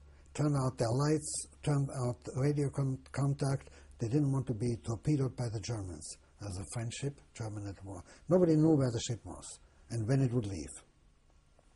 Second postcard I wrote to some friends in the States, and the third one to my mother in Palestine. That postcard to the French line was very important. I'll tell later. Um, when the soldier arrested me first, you know, I said, I'm hungry. And uh, he said, Well, you're supposed to carry 48 hours of food and blankets. I said, Well, I don't have 48 hours of food, I don't have any blanket. All right. Took me to a restaurant, said, You eat, you sit there until I pick you up. German spy, you know. Anyhow, I sat and sat, I read the newspaper, I ate, I thought it was my last good meal, I ate well. He never came. I walked myself to the place of imprisonment. Of course, he had my passport. But if I were a real saboteur or spy, I wouldn't care, you know. So, how were you treated at this camp? Uh, Okay. We were told to dig trenches for air defense. And we marched out in the morning, a column of prisoners with picks and shovels. In front, a soldier with the gun and the bayonet, and in the back, a soldier. But that bayonet was going like this. He was totally drunk. So those two soldiers took that long row of prisoners with their picks and axes, and we shoveled. Then while we were there, they there was a tavern right at the entrance to the place where we shoveled. They disappeared in there and parked their guns outside. You know, to the wall, you lean the guns. All of a sudden, we hear some screaming. And uh, it was a woman from the second floor because she saw her children play with the guns. The soldier came out and says, Don't worry, we don't have enough ammunition. We dug. The partner with whom I was assigned was a great big, he must have been six foot, I don't know, agricultural laborer. He did one stroke with the pick, and I shoveled for half an hour. you know, here was little me, medical student, and here was this. Uh, it was all very friendly. okay, that was the situation at that time. And then, after being in camp um, several weeks, a, post, a, a notification came from the French line to the camp that myself and another man were scheduled on the ship, the De Grasse, in Le Havre. I was in Libourne, near Bordeaux. And command of the camp came, we all stood up, called me, called him, and said, You're free. You can go to Le Havre, to the boat. Great.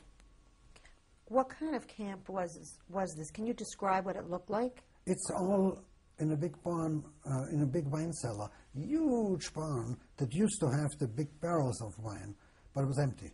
The only barrel was there for us to, as a toilet, you know. But otherwise, and then the digging. Otherwise, I don't remember anything else.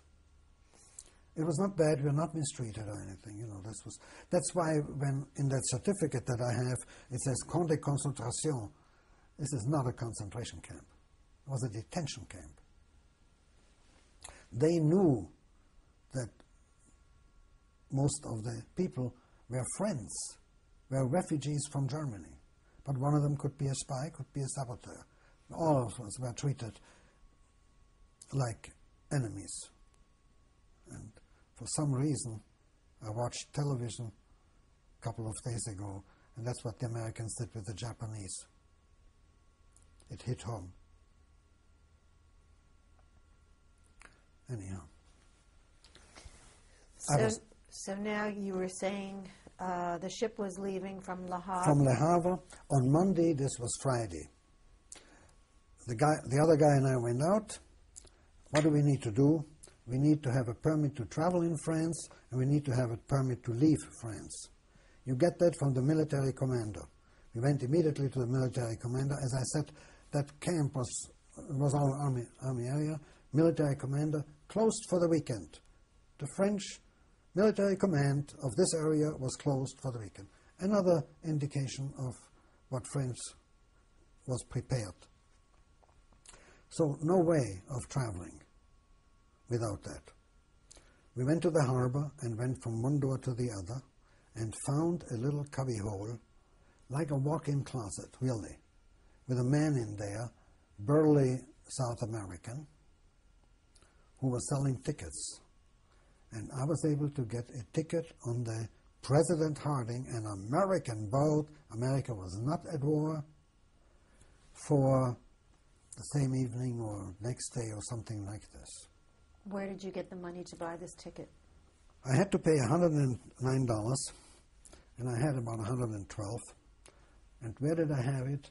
The people in Switzerland, the people that I had a meal with, Jewish community, when I graduated and got my final exams, and incidentally, I think I was the sixth of a group of Swiss and foreign students.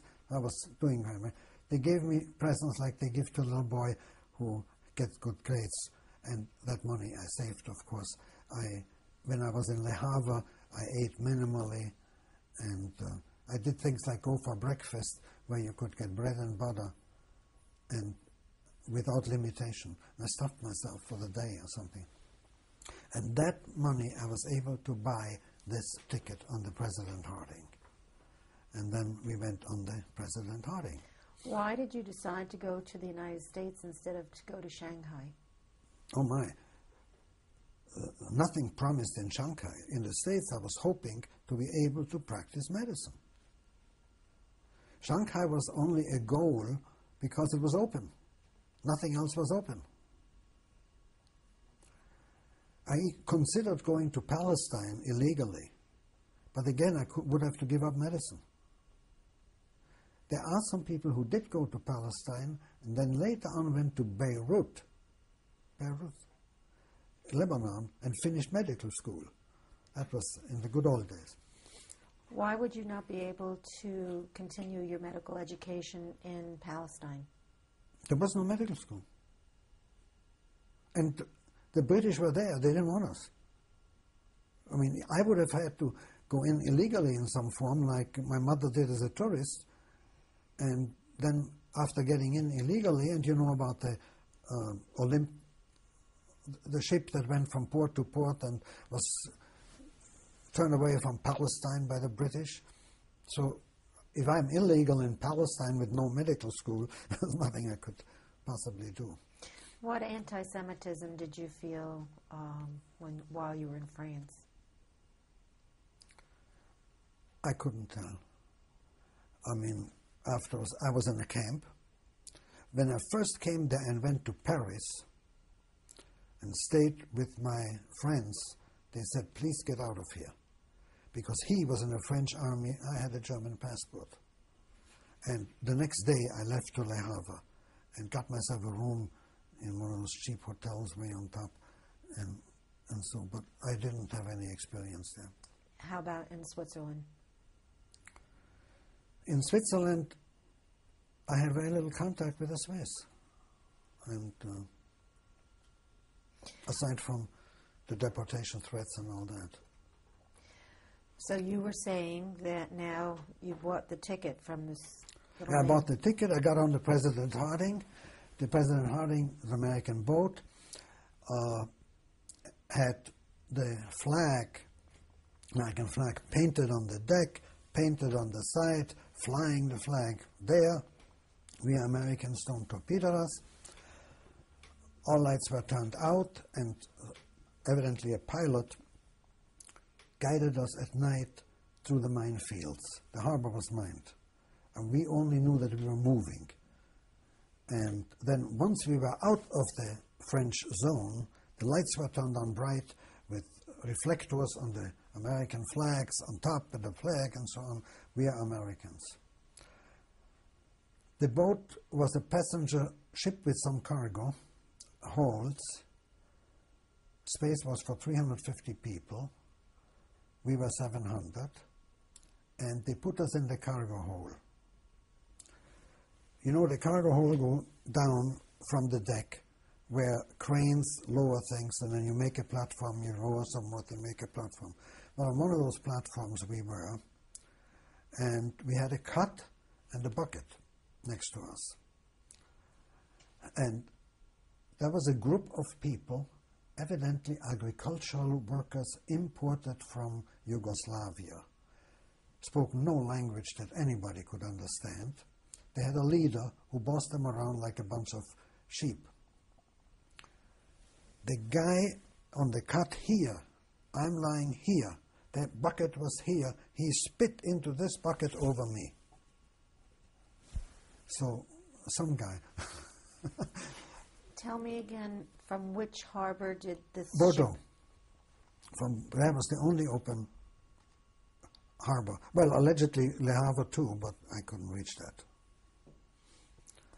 Um, So now you're on the President Harding.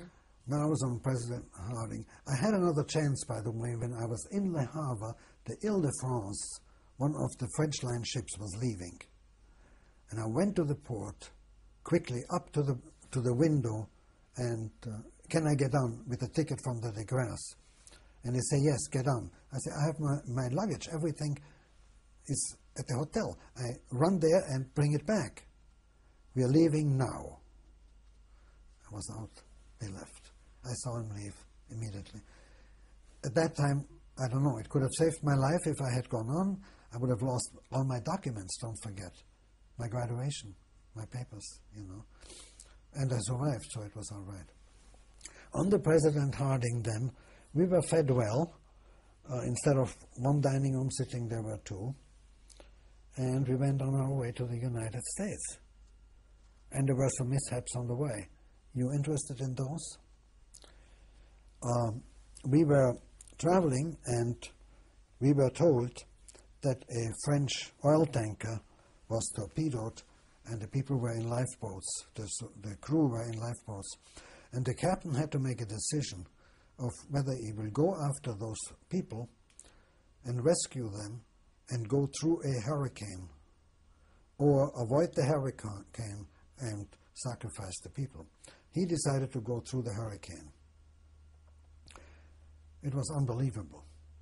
The ship was, all he did is steer the ship against the waves, not in a direction, because if a wave would hit sideways, it would capsize the ship.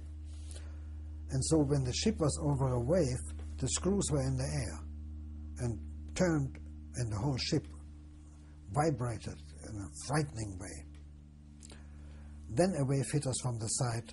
The ship go 45 degrees. We thought we were down, but we did. We righted again. We got through the hurricane. Waves were very high. During that turn, during that turn, we had 98 injured people. When it turned, people just crashed wherever they were toward walls, toward the dining room. Steward went overboard and was lost. Uh, that was uh, the thing. We're going to change tapes.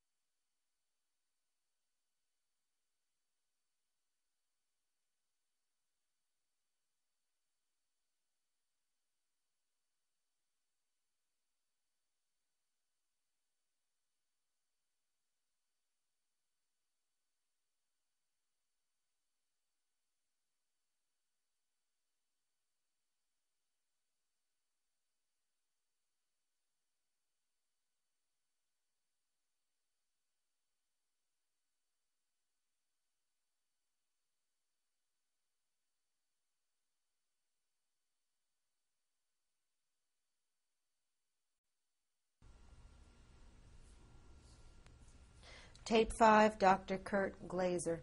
You were talking about the, uh, the ship being in a hurricane and Yeah. the people that were injured. Well, what happened um, at the consequence, no, no- number one, we did see two lifeboats with men. Uh, I remember I was on the deck looking down, and the steward called down in French because that French uh, tanker was sunk, and they couldn't understand. They were English, and they were from an English boat that was sunk so fast that they couldn't even send the SOS signal. The French people had been picked up by a British cruiser who circled us, evidently in giving some messages, and then left. Then our physician organized us, whatever physician was, to make regular tours through the ship. When there was a cabin with someone sick in there, we, had chalk signs on the on the door. I was assigned to the crew members way down in the belly of the ship, and uh, I my English was so little that when I went to somebody, I remember all I could say is hurt, pain, you know, hurt, and he would tell me here or something like this. The steward that was with me knew a little German and helped. So we went from one to the other. There was one incident that I have a vivid image. I needed, I found a cook who was burned severely by uh, soup, by boiling soup that went over him, and he was uh, delirious, tied down to the bed because he was totally delirious. Uh, I said, I need morphine. So I was told to go up to the doctor's office. In order to get to the doctor's office, you had to cross the deck. The ship was going like this and like that. There was a rope between the door where you left and the door to the to the doctor's office. There were two men standing there that held me. And when the ship got into a certain position, they said, run. I ran with the rope running through my arm. In the middle of the rope, the ship turned. I was hanging on that rope, seeing only ocean. And I just remember the picture of my mother. I got there, I got the morphine, I got back, I, I gave this man uh, the morphine, he calmed down and he survived. There were other incidents. I, as I went with the steward, there was a man, blood all over the place from here, and he said, Walk by, he's gone. And I said, Wait a second. He had a cut off the jugular vein, not artery, and he wasn't dead, he was alive. So I propped him up between the two narrow walls of the uh, corridor, took his fist, put something around it, told him to hold here, just mechanically, and then went on to the next. And he survived. How many people were rescued from that ship that was going down? 35. They were okay. They just added to our number of people. Um, other people who had potential back injuries, because you know they sailed through long corridors and crashed toward the wall.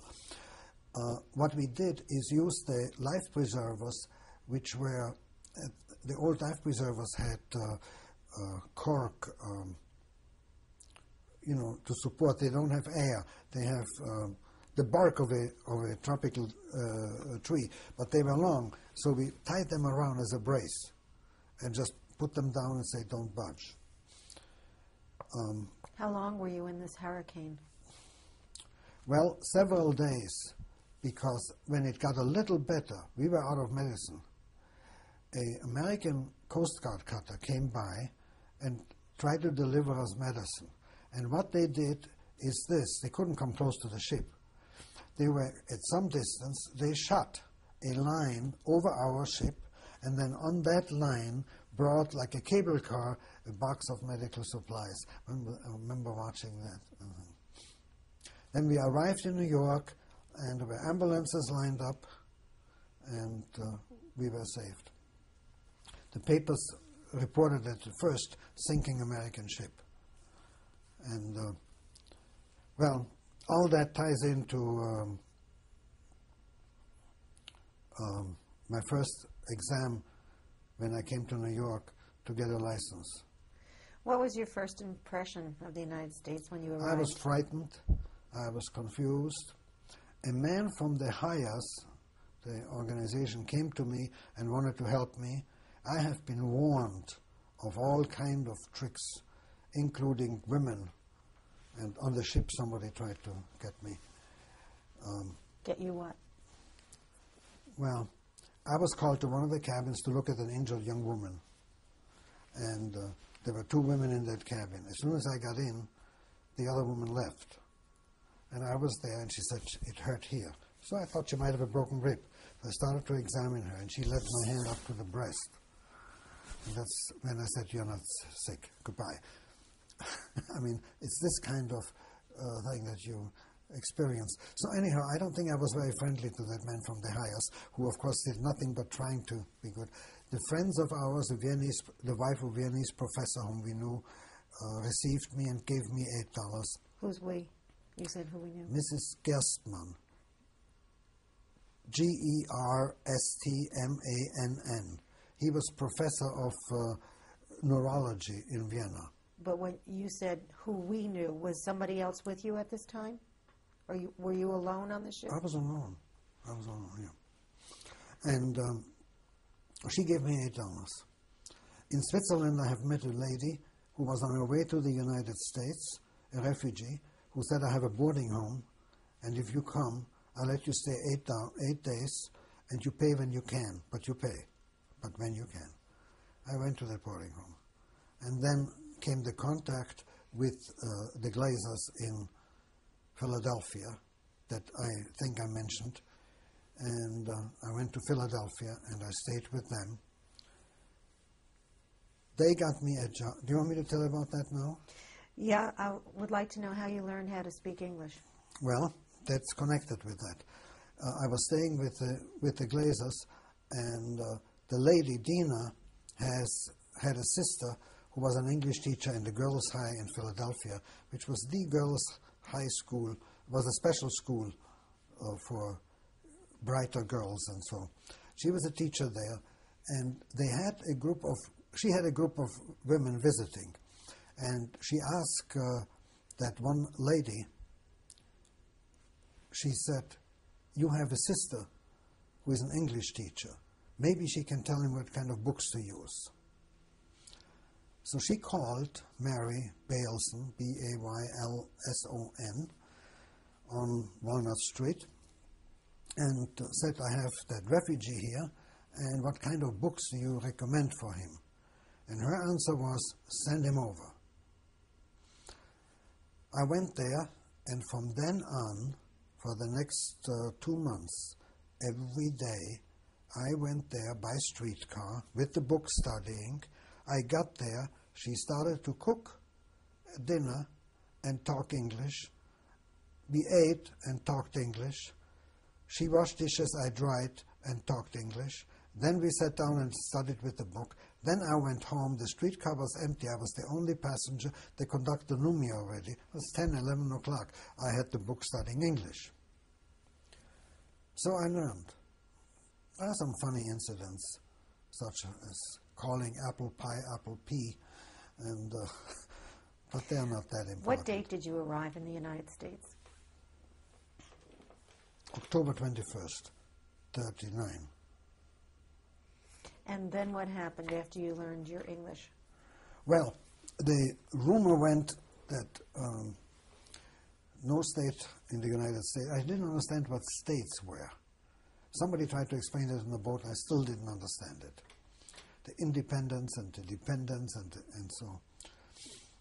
Um, but no state will accept anybody with a graduate, with a from foreign land, except New York, where you can take the exam. I went, tried to take the exam. Well, first you have to take an English test. My teacher had prepared me for likely questions. How do you got? How did you get to America? How do you like America? And things like that. And I wrote essays in preparation. Well, the verbal examination was exactly this. How did you get to America? And I started to tell about the President Harding and the storm. That was fresh in the mind of the examiner from the newspapers. There was a secretary behind who was taking notes, so she stopped taking notes. She was listening to one of those animals that came from that ship. And I passed the English examination, and then I took the New York examination a few months later.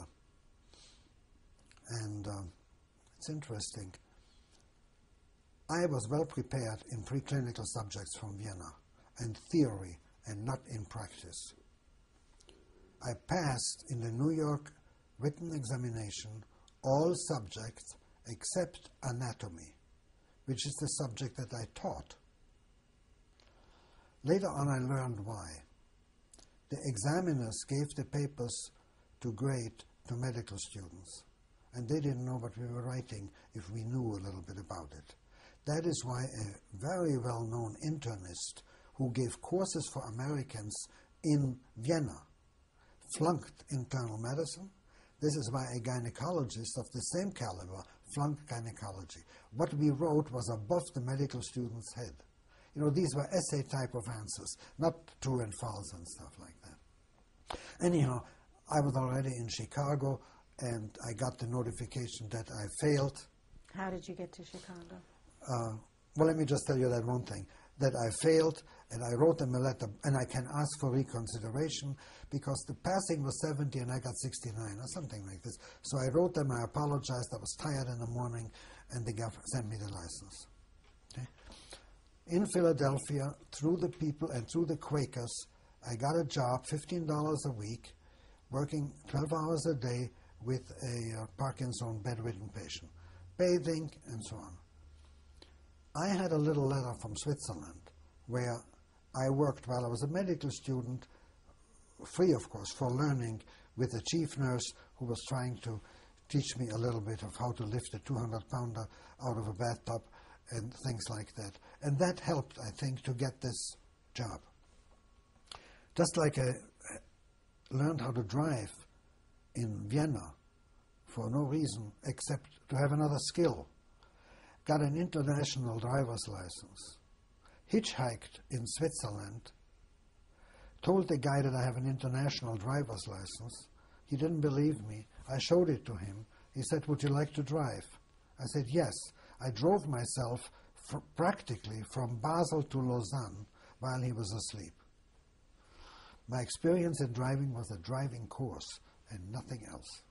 Anyhow, we tried to learn whatever we could in order to get any kind of a job. So in, um, I had this job there, living with the Glazers, continuing to learn English, and wrote I don't know how many letters to hospitals to be accepted for internship.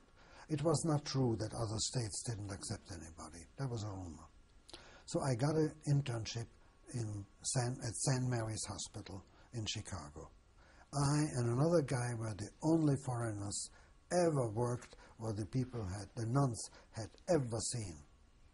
We were very strange uh, animals, but they were so short of uh, people because the young doctors were uh, drafted in the army. That each one of us held two, three of these positions, sort of. And of course, I was from Vienna with a good theoretical background and no practical experience. I remember when I was on obstetrics, we were supposed to examine the women, call the doctor and said, she is about stage so and so, two centimeters. I called him, and they knew me, they were very nice. They called him and I said, Doctor, all I can tell you is that she is pregnant. So the poor guy had to come in and look and so on. But I picked up pretty rapidly. So after St. Mary's, where did you go from St. Mary's? I was there for a year as an intern and then got as a second internship uh, in Louisville at the Jewish Hospital, also a rotating internship. And then from there? While I was there, the chief of pediatrics from the General Hospital and the university came over and asked whether I would want to be a resident in pediatrics. To get into a specialty in pediatrics for a Jew and a foreigner, unheard of. Of course, I grabbed it and I became a resident there. They were so short that actually the position I held was for three people. So I run my myself off, you know. And how long did you remain in? One year, one year in Louisville. At that time, you know, you changed every year. I then, somebody from Fort Knox, an officer, Jewish officer, med- a pediatrician, was visiting. I showed him around. What are you going to do next year? And said, I don't know. I want to get another residency. By the way, if I hadn't gotten a residency, which was considered an essential job, I would have been drafted as a private and could not have been a doctor in the army because to be a doctor in the army you had to have, have to be an officer. And I couldn't be an officer because I wasn't a citizen. So we were told you have to stay in an essential job. In spite of the promise that if you get into the army, you get your citizenship in three months, which didn't happen. As a demonstration that it didn't happen was a newspaper article, and you will never be sent abroad as a foreigner. A newspaper article of 200 people getting their citizenship in England. So these were foreigners sent abroad. Anyhow, so I talked to this officer. And he says, "Why don't you write to so and so, my friend in Milwaukee?" And I became chief resident in pediatrics in Milwaukee at the Children's Hospital. And what year was this? Well, that would have been then Approximately. 40, 30, 43, 44. Yeah. During that re- residency in Milwaukee, a very famous pediatrician came there because they had difficulties with the staff, polit- inner political difficulties, and he came there to help out and was a visiting professor for a month. And he said, Kurt, you ought to go to a very good hospital for at least a month so that even though you have two years of residency, which is all that is needed, but you would have a better reputation. Why don't you call Dr. Gibson at the Children's Memorial Hospital, affiliated with Northwestern University, see whether you can get a residency? Went over there, talked to him. He said, Sorry, everything, we have every position filled, but put my application in there. Two weeks before the end of my Milwaukee residency, I had no place to go. If I'm not busy with an with an essential position, I'm a draftee. I went back to Dr. Gibson in Chicago, and I said, "Can you, and any idea what happened?" He said, "It so happened that two people in the last moment canceled out because they were called to the army, or, or their husband was called to the army. Stay right here." I said, "You don't have any papers of me." He said, if Dr. Brennemann recommended you, you're okay. I had my residency there, and there, without finishing the year, I was asked over to the University of Illinois and became an instructor at Illinois, and there I met the chief of pediatrics from Hadassah in uh, Jerusalem University, and he said, "Would you like to come to Hadassah and become my assistant, chief assistant physician at the pediatric department at the University of uh, uh, Hebrew University at, in Jerusalem at Hadassah Hospital. Of course, I haven't seen my mother for 12 years. I haven't seen my brother for 12 years. Here is my opportunity of going to Palestine. And uh, Susie and the two little children, one three months old, who is now in Jerusalem, and one two years old, who is out here, went on a boat, on two, three boats to Palestine. Before you tell me what your reunion was like with your mother, tell me about meeting Sus- uh, Susie, your wife Susie, um, in the United States and your marriage and subsequent children. Uh, as I mentioned, I first saw her as a little 10 year old girl. Then I met her again in Switzerland when she was told to look me up, and um, we met for two hours on a train station and things like that. She went to Florida.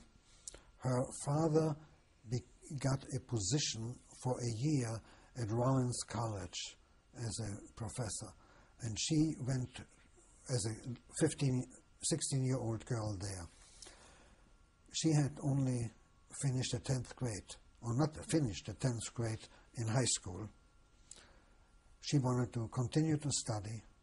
And they said, We have some kind of money here, you can audit in the college. She audited for six months learned English, became a college student, and graduated in two and a half years and had a college degree.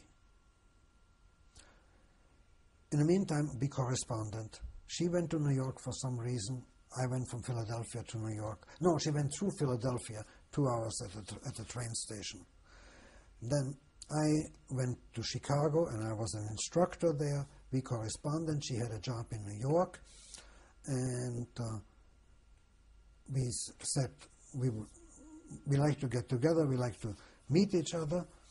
Uh, nothing about marriage, but you know, maybe. Why don't you come to Chicago? And uh, Susie come, came. She, of course, didn't stay with me. That would not be proper. She stayed with a cousin. There was a distant cousin there. And uh, at that time, she told me that I'm a bad diagnostician because I didn't notice that she was in love with me. And when she said that, I said, let's get married. We got married. We had no money. We didn't know how to do it. We went to a rabbi who went to his home where he had a study. We asked two friends with us. We got married. We didn't let anybody know.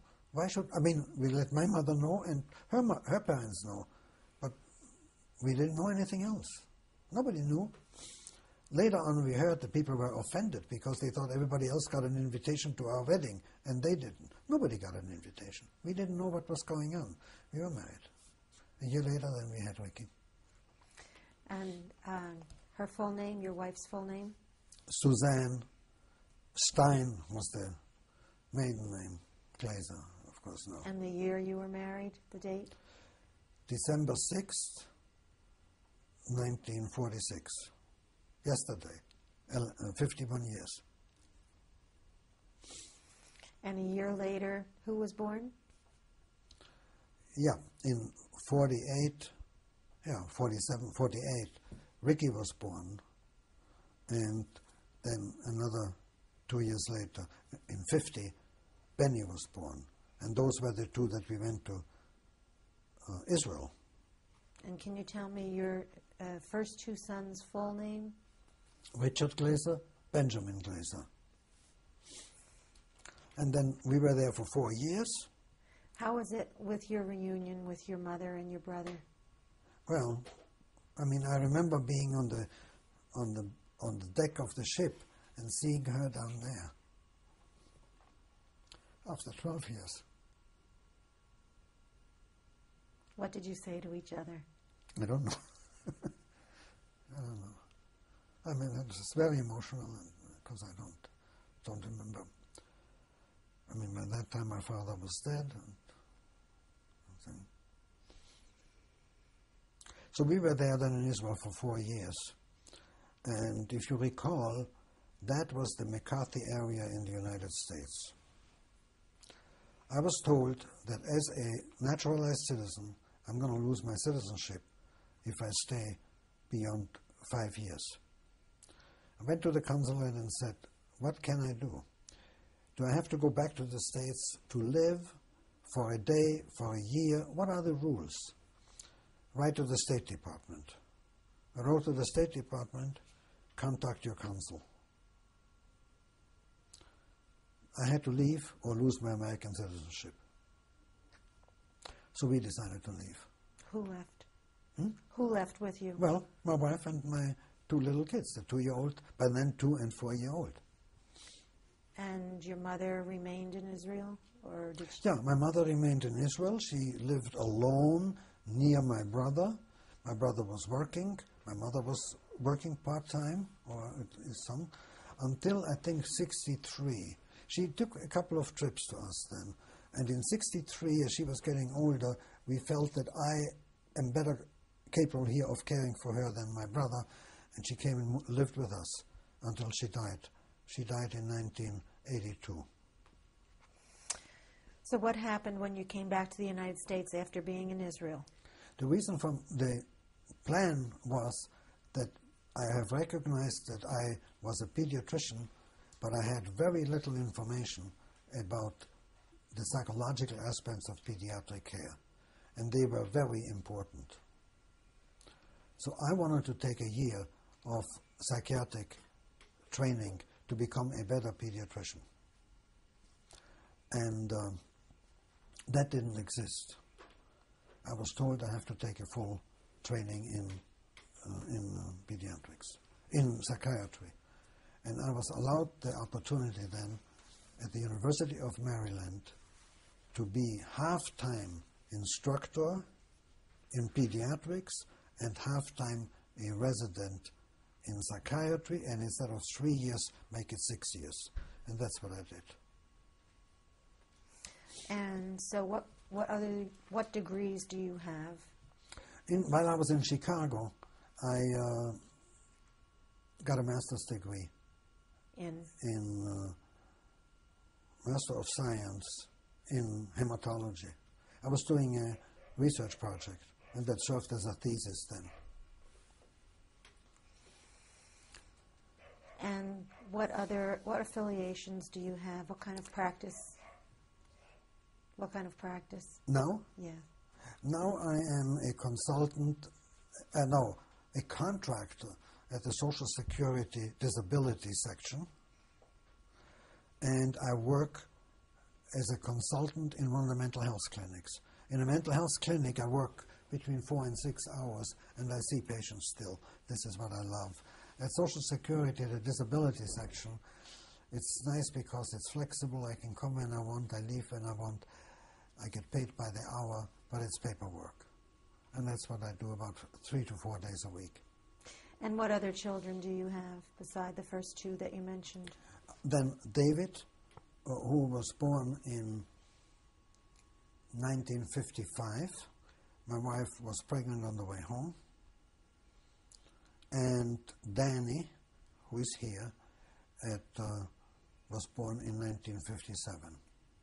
And what are your son's occupations? The oldest one is, uh, has two master's degree, one in social work, one in Jewish studies, and is the director of a day facility for the retarded. The next one, Benjamin, is at the University of Jerusalem. Um, I think his position is senior, no, associate professor, or something like that. He's, he's done okay. Doing some research, teaching, and clinical work, and has three children.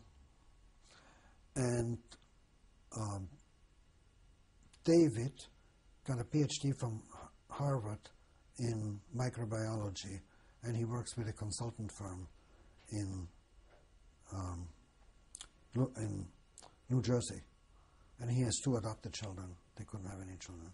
And Danny, who is a pediatrician in Bethesda, is uh, not married. He lives with a, a lady. My wife is signaling me here. So Susie, what is it, place.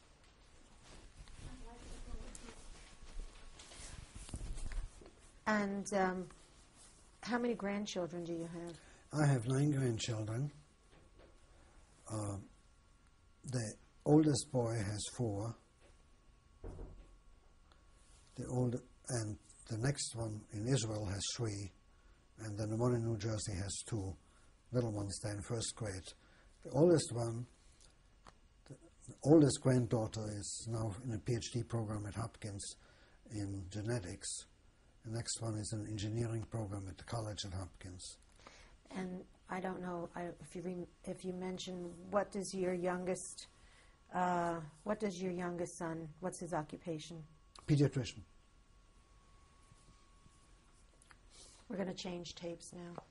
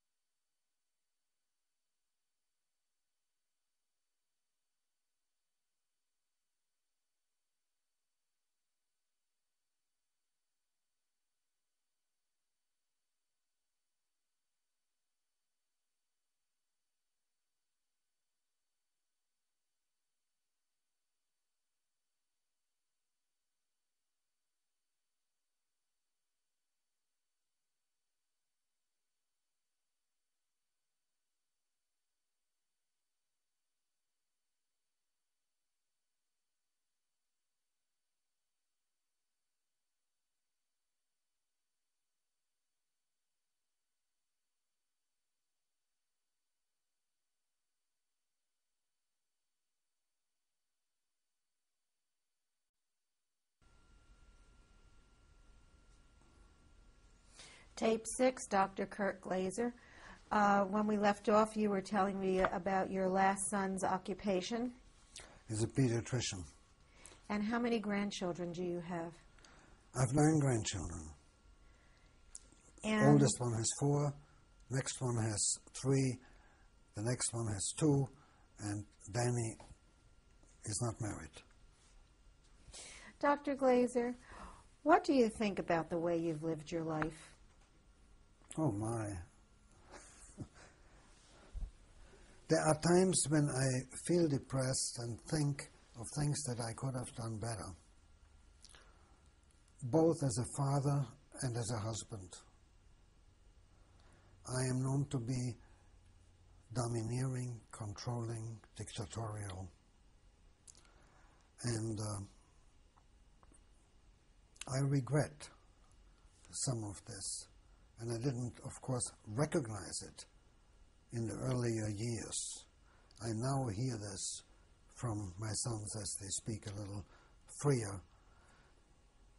Um, otherwise, I think it is a combination of luck and of serendipity, of grabbing what's available and being ready to do and not doing anything rash. When I was threatened for deportation to Germany, I was planning to, uh, it would have been by train with a guard. I was planning to jump the train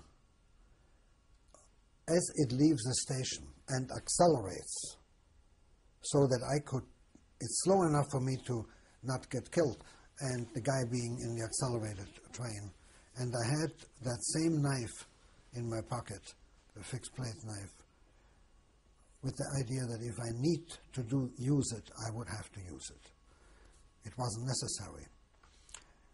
When I met the physician whom I showed around in Louisville and told him, and he said, Call my friend in Milwaukee, I got a chief residency for a foreign graduate Jew who isn't even a citizen yet.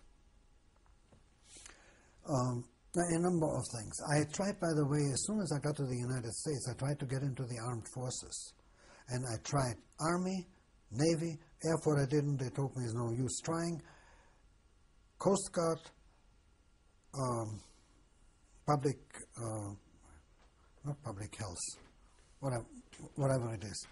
Everybody rejected me because I was not a citizen in 1945, I became a citizen. The Navy wouldn't take me because you needed to be a citizen for five years. But in 1945, they were very hard up on doctors and reduced it to just being a citizen. So in 1945, I was accepted the, for the physical examination at the Great Lake Naval Station. I, paid, I passed my physical examination and was scheduled for a four day medical examination. Medical meaning like a test, like a state board. And as I tell the story jokingly, the Japanese found out that I was coming and they gave up. The atomic bomb may have something to do with it too. So that was cancelled. But the question was, what do you think about the way you've lived your life? Well, as I say, I think that uh, I did a lot of things right. I supported my family. My kids went uh, through college and graduate school without debt. Um, whenever they worked to help out, it had never to interfere with their studies.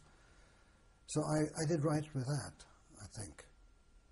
And uh, I think I did right in going to Israel at that time for four years. It was sort of a fulfillment of a dream. It was a way of seeing my mother again because I couldn't have afforded at my instructor salary at Illinois to go there. My mother, my brother, and cousins. Um, I don't know what would have happened if the McCarthy area would not have interfered with my staying, whether I would be now a successful retired physician in, in Israel or whether, I don't know. But I think I did right then coming back. I went into psychiatry and I practiced on the side, aside from being uh, the clinical director at the Institution for the Retarded and then the director of a adolescent unit for emotionally disturbed adolescents and then for four years at a private hospital until they told me at 70 everybody has to leave the hospital. And uh, I prepared myself and got the jobs at the Social Security and at the clinic. And two weeks before I was ready to leave, the chief of the service came to me and said, Would you stay another year? We had two cancellations, or one cancellation. I said, We're at a 70 li- limit for everybody, including the president. Oh, we waived that. Anyhow, I didn't accept it. What's important to you today? What is important to you today? Important today, I would say, is my children, grandchildren doing well, my grandchildren growing up, getting to good schools, not necessarily private schools, getting into careers, and uh, as I said before, I think they seem to be on the way. My, the oldest son of my second boy in Israel is going to graduate from high school, gymnasium, and already had his first army interview. And as you can imagine, the Israeli army for three years is something that is less than ideal. But that's the way it is. What do you think about the state of Israel? It's in a terrible fix because basically not only Arafat but all the Arab countries want it eliminated. Not peace, not giving up territory, elimination of Israel. Israel is, in my opinion, a threat to them, not physically. That little speck of the size of Connecticut with 120 million Arabs around, but culturally. People turn on the television and see Western life within a few hundred yards across the border, while in Saudi Arabia the women are not allowed to drive, etc., etc., etc. So the knowledge that in their midst is a progressive Western state which is successful, I think is a cultural uh, threat, particularly to the backward regimes. The monarchy in Saudi wouldn't do so well in terms of if the women would wake up and say, We want to get our veil down and start driving. So it's a precarious situation. And the only thing that counts, I think, is the strength, the physical strength of Israel. Uh, nothing else. With the assistance of the United States. How do you think the events that you yourself experienced in leaving your home country have affected you? Obviously, in the beginning, our anger was so that while we, my wife and I talked, we would not talk German and not teach our children German. They could have acquired the language without any difficulty. We had such strong feelings about the German language, which now I see as a mistake in terms of they could have had another language, you know. But that, you would say, my anger, you know, was terrific, continues to be terrific. And the fact that after the war, through the Marshall Plan, Germany got generous contributions and did beautifully, arises a certain amount of anger. And Austria, in terms of the Jews, was worse than Germany, much worse.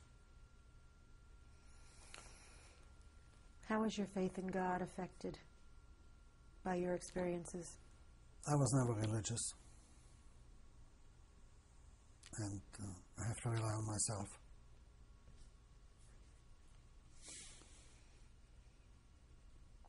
Why do you think you survived? A combination of luck, uh, grabbing the right thing at the right time, not being rash, and assistance from all the sides.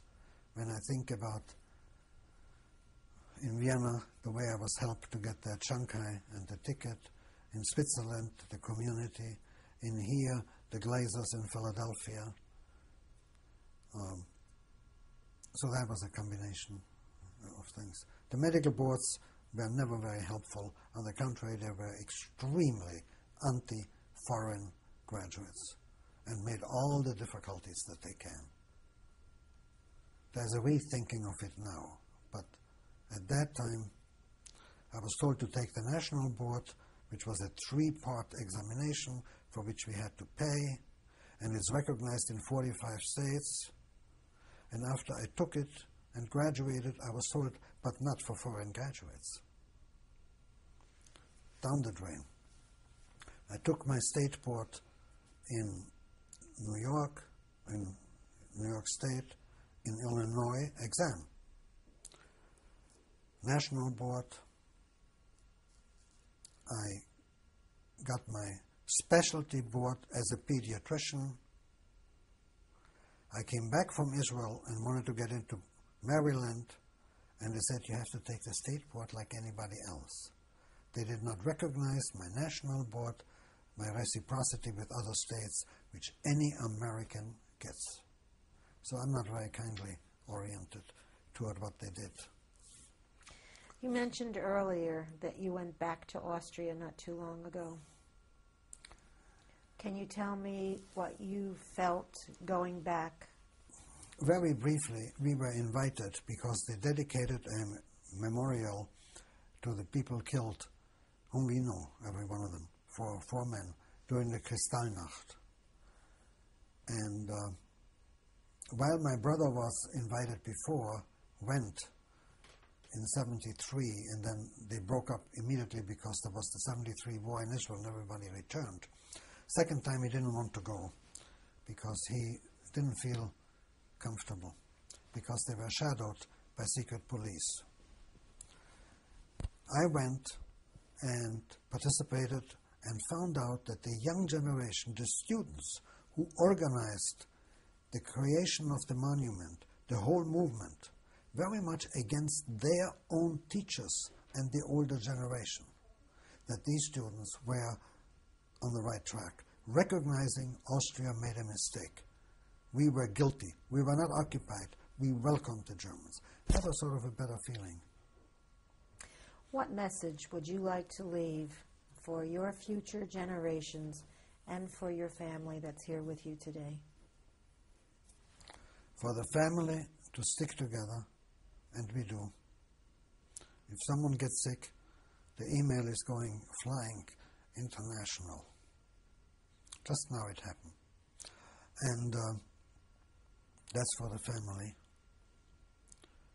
For the rest of the Jews is to maintain their Jewishness not necessarily on an orthodox religious basis, on a national basis, and to support Israel.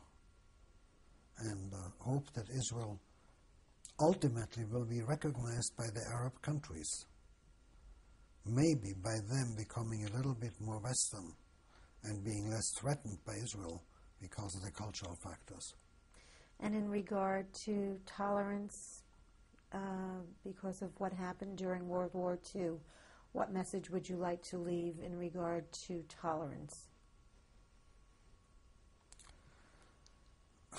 That's, of course, the key word, and at this point, there is all that uh, discussion about affirmative action here and, uh, and race relations, and Clinton has meetings on race relations. Whatever we can do to tolerate and accept people that are different, not consider because they are different that they are inferior, that they are different, and accept them. Thank you.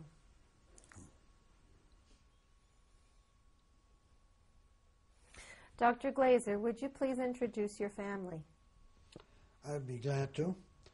Uh, this is uh, Suzanne Glaser, Susie, my wife of 51 years. Yesterday was our wedding anniversary, our 51st wedding anniversary. And behind me is uh, Richard, who is our oldest son, with uh, a wife and four children. And behind me on this side is my youngest son, Danny, who took off from a busy practice in Bethesda to come here for this occasion, which I very much appreciate. Is there anything that you would like to say to them at this time? Well, I think I have reported my background for the last two hours or two and a half hours, and maybe you can say something about the issue of uh, being a second generation survivor. And uh, Susie would like to say something about being a survivor of 51 years of marriage. Mrs. Glaser, would you like to say something in regard to your uh, husband being here today to give his uh, testimony? Well, about uh, about whom? About Dr. Glaser. About you. Well, I don't. I really uh, don't know what where to start. I mean, uh, we uh, we started by. Uh, uh, um, I went. Um, no, you were more. Um, th- the the beginning was that uh, uh, Uh, um, um, um, talk to people or get- because they were in it in a Zionist organization and all that, and they have youth groups and so and so on. That's what it started. The the main uh, How has your life been for the last 51 years, sharing it together? well, uh, we are here. we are smiling. and you mean just want to go from 51 years from here to now, but that's uh, that's a little too too no, uh, too much because it was it was very difficult in the beginning. I would like to add here, talking about difficult, that when we went to Israel in 1950 with two, with two little uh, children, one three months old and one two years old, and my wife took care of them. Food was very scarce. We took powdered milk along for two years. We lived in a one room, horrible pension, what they called. And my wife was able to cope with this and did it, I would say, almost with a smile. And that is, I mean, that was really a very difficult time. What would you like to say to your husband at this time? Now, What would you like to say to him now? Well, uh, first of all, you know he's he's still working. Very few people do that unless they have their own business and then they come and go. But he, he really likes to do that. Although it's getting a little bit uh, more difficult. But it's um, we've been traveling over the decades, and uh, we have landed here. This is this is it. And What would you like to say to your grandchildren? which one? Any of them? what would you like to say to them right now into this? Well, it it um, it means that uh, no these these two uh, grandchildren, no, She asked for grandchildren. No, Rivka and Nellie and all of those guys. What would you like to tell them, the grandchildren? grandchildren. We have four. Uh, we start out They, uh, I told them that. what that they, they All all the children are Yeah. But what would you like to tell them? They were lovely children, really, all of them. And uh, we got up to nine. and uh, they are all they are in school. Um, I think um, there uh, one is at uh, Hopkins, and one is at Goucher. You don't have to tell me their background, but what would you like to say to them now? All of them together. What message would you like to leave for your grandchildren? What would you like to say? Or sh- uh, should we say about the the children? Talk about that, or or what? What would you like to say to the children? Uh, I can say that they are lovely children, all of them, and they've had their ups and downs uh, very much in the, during that time. But but they're lovely children. They're good. They they go to school. They what what they they, they work uh, quite a bit.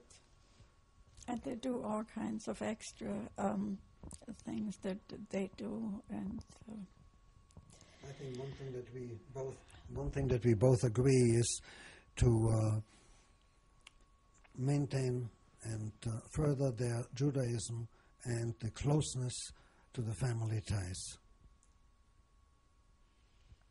okay, but agree- it has. It Do you has- agree with this? Yes, I do. What would your sons like to add at this time? I'm Not quite sure where to start. Um, I think the um, my, my parents have uh, throughout our life um, tried to emphasize uh, Jewish identity, uh, Zionism, a love for Israel, and the I guess the the constant need to remember uh, the the history, uh, not only the history of the Jewish people, but but also the um, uh, the personal history of the family. And I guess the um, way that it has been the most vivid at Passover time during the Seder, we would read the uh, the story that's in the Haggadah, but uh, we would also make it a tradition, and that's been increased over the last years as there are more grandchildren. Um, we would make it a tradition that um, uh, my father, uh, as well as other people, would recount their own personal stories and um, that has made uh, it, it's it's in the context of the Haggadah, so it's in the context of all of Jewish history, and uh, the children have, have learned about that in Hebrew school. Um, but this makes it um, this makes it alive. This makes it personal. Um, this is something that uh, has affected um, uh, my parents, and also my uncle has spoken about his experiences, and friends of the family that uh, have been through similar ones.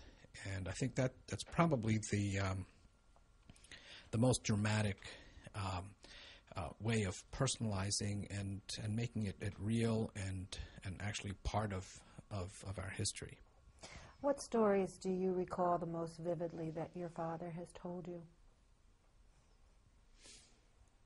Um, well, he's he's told us the story uh, of his uh, childhood in, in Austria and some of his experiences. He's told us the story of um, when uh, when he had to leave Austria and um, went to complete his uh, medical studies in, in Switzerland and uh, then coming to the United States.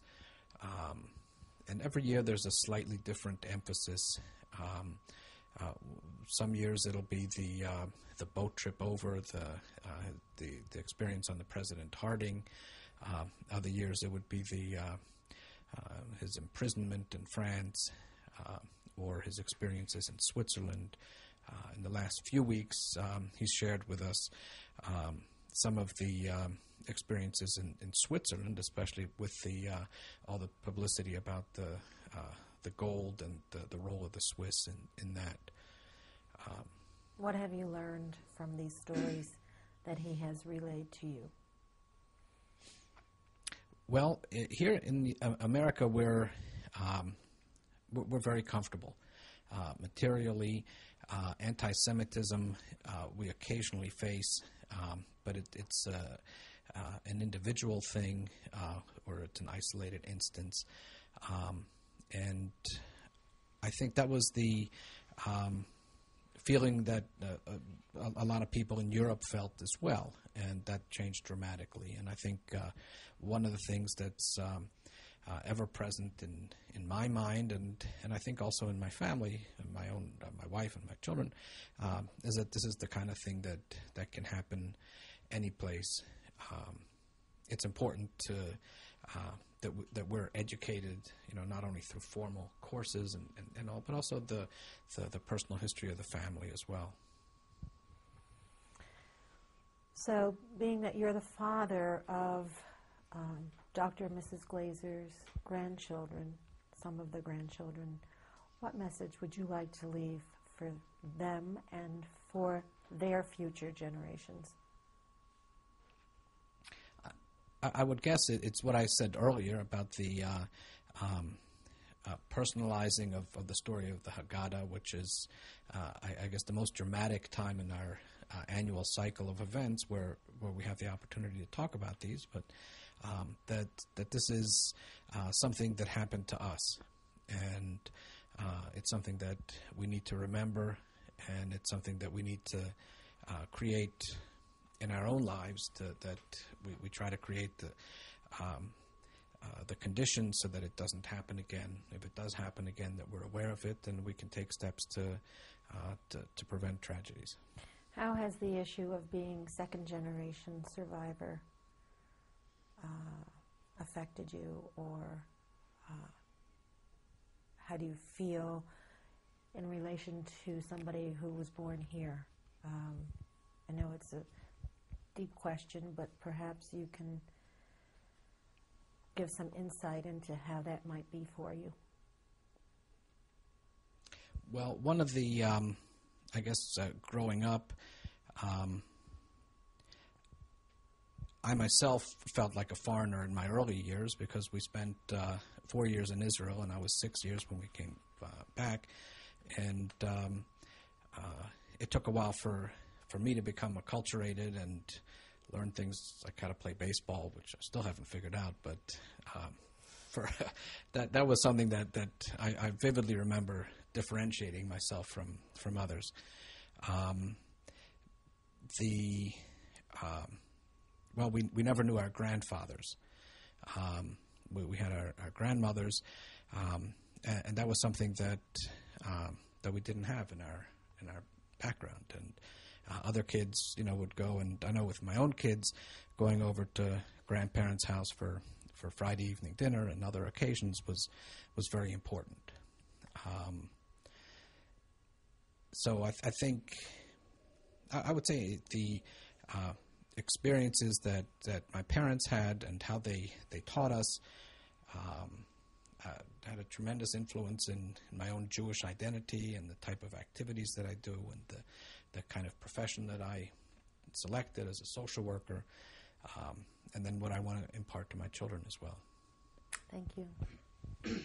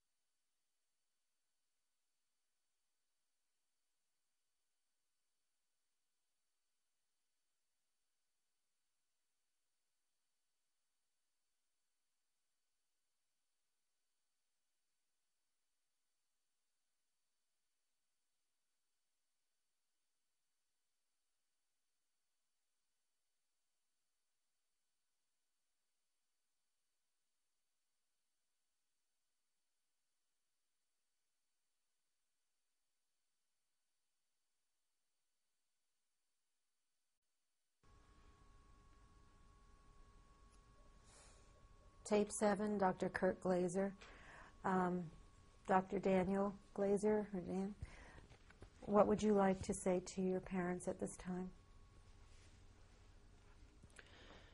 Um, well, first of all, uh, I wanted to comment um, on uh, what I've noticed in, in maybe compare uh, in addition to what my brother said, uh, that we always knew that it was very, very important for him uh, for us to remember and to um, uh, to know to know the history and to remember it and to to hold on to it uh, is something that's very important for him personally and to make it important for us personally too. Um, I, I do remember that my mother preferred not to talk a lot about it. Um, um, she she said she kind of had put this behind her and was not didn't want to talk to us too much about it. Um, uh, we have at, at some points found some some pieces of information about things, but uh, uh, uh, my father was the one who really was the one pushing for remembering everything.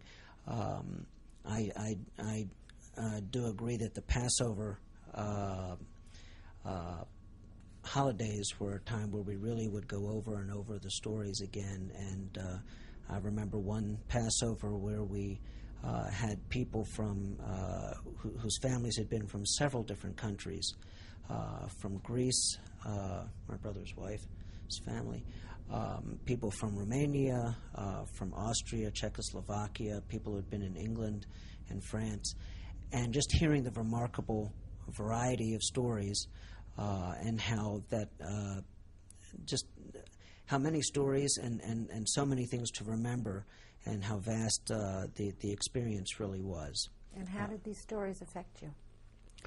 Well, I think um, uh, it was definitely instilled in us a uh, sort of a pride uh, that this was our history and it was something to hold on to as something that we were, although very sad and distressed about, and there was uh, still a lot of anger um, um, to be held on to, uh, but there was a pride in our Jewishness, uh, and that extended, of course, to Israel. Um, we grew up in uh, Habonim. I don't know whether that was mentioned before, but a Jewish youth movement um, similar to a Jewish youth movement that my father um, had in Innsbruck, the Maccabi. Uh, we had here Habonim, uh, which was a, a, Zionist youth movement where we um, learned about and uh, worked with a lot of things in terms of Israel and Israeli culture and the kibbutz. Um, and that was something that had a lot of pride for us uh, and a lot of excitement and a real connection. Since a lot of the extended family is in Israel, not just my other brother's family, but uh, aunts, uncles, and, and other cousins, uh, the connection with Israel is also more personal and not just uh, abstract uh, or for other people or so. And what message would you like to leave for any future generations uh, within the family and outside the family? Um, well, I think that the the message would be that it's very, very important to remember and to know the history.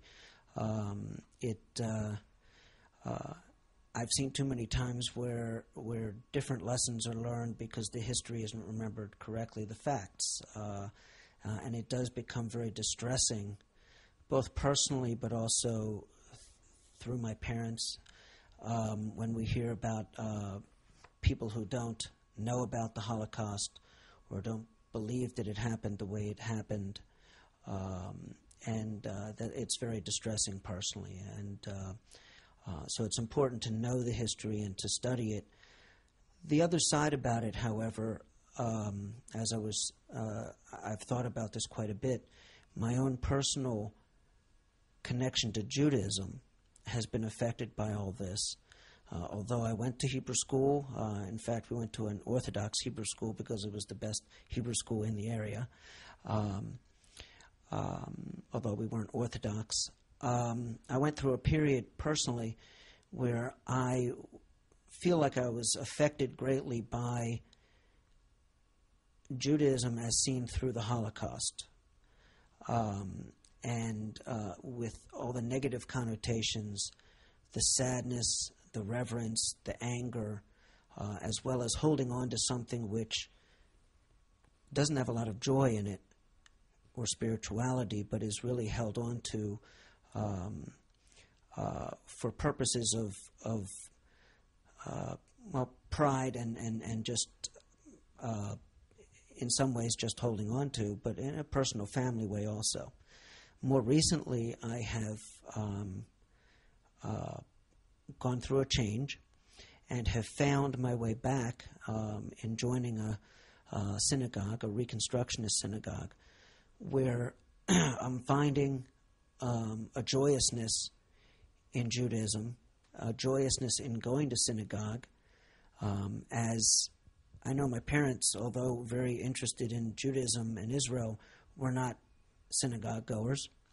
Um, but uh, I go frequently now, and I found a, new joyousness and spirituality in Judaism, which I think is maybe a, a, a stage separated from uh, being the child of a survivor of the Holocaust. Judaism is seen not through the Holocaust, but Judaism, Judaism is seen for itself uh, as being something that can be very positive.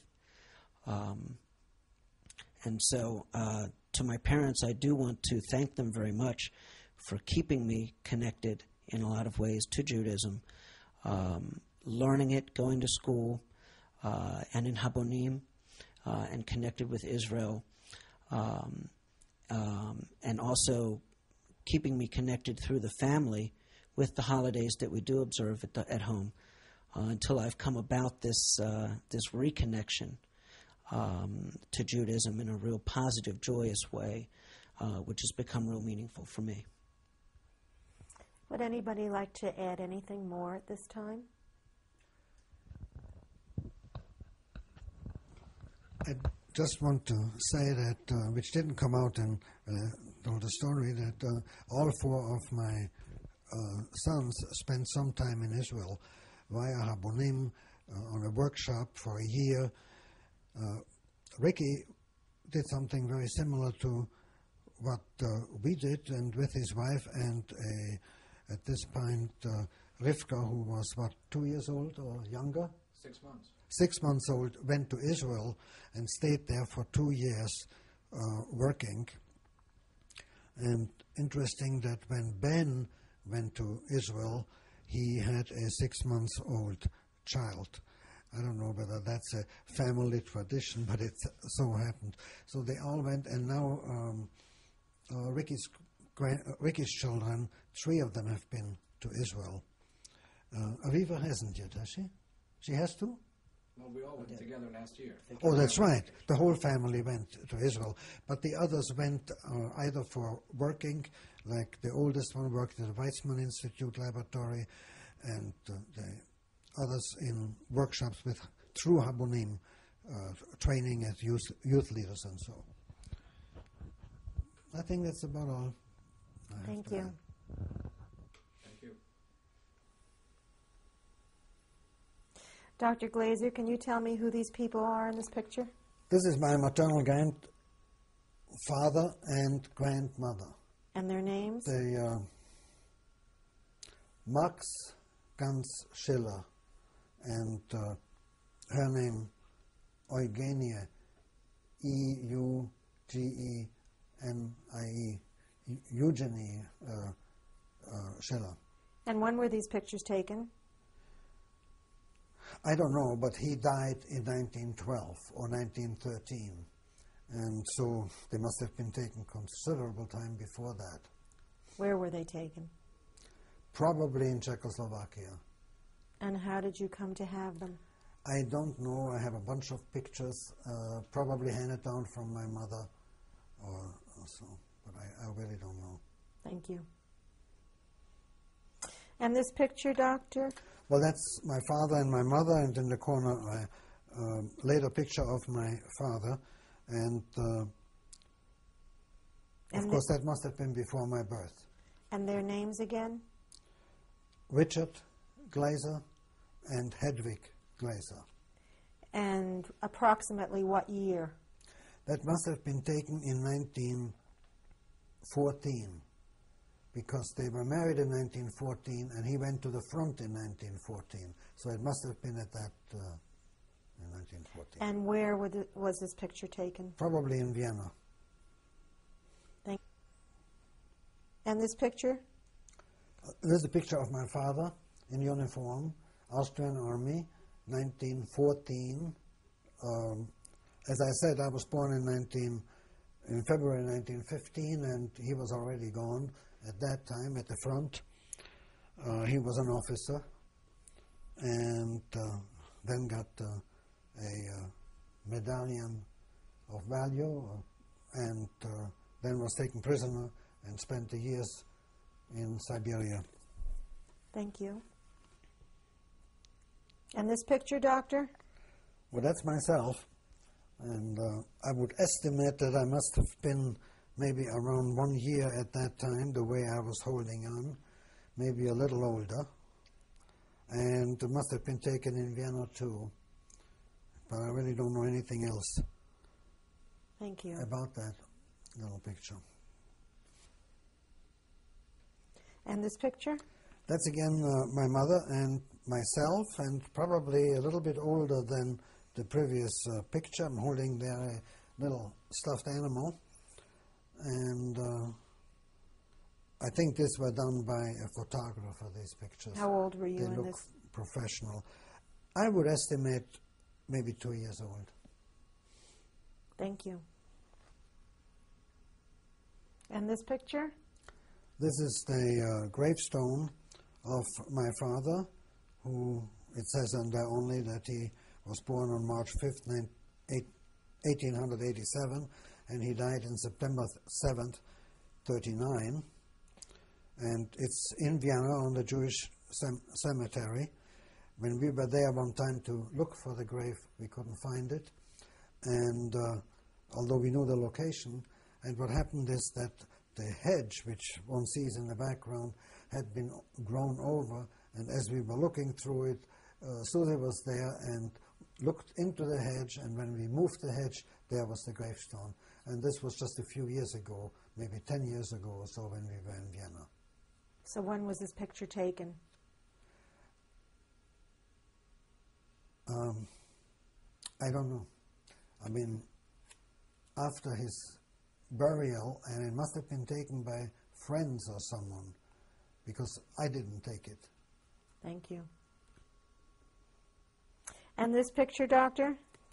Well, this is a picture at the time of the wedding of my father's youngest brother, Rudolf, and his wife, Alice, maiden name Schwartz, and it was in 1933. Uh, as I told in my story, both of them went to Auschwitz. She survived and died only this year. The rest of them are members of the family. The person right next to her is my paternal grandfather. On which side is that? on her right side, on our left side, Thank you. And, is, and then and his name? Bernhard Glaser. He is the one who died in Theresienstadt. And the other people in the picture? Well, the next one on his right would be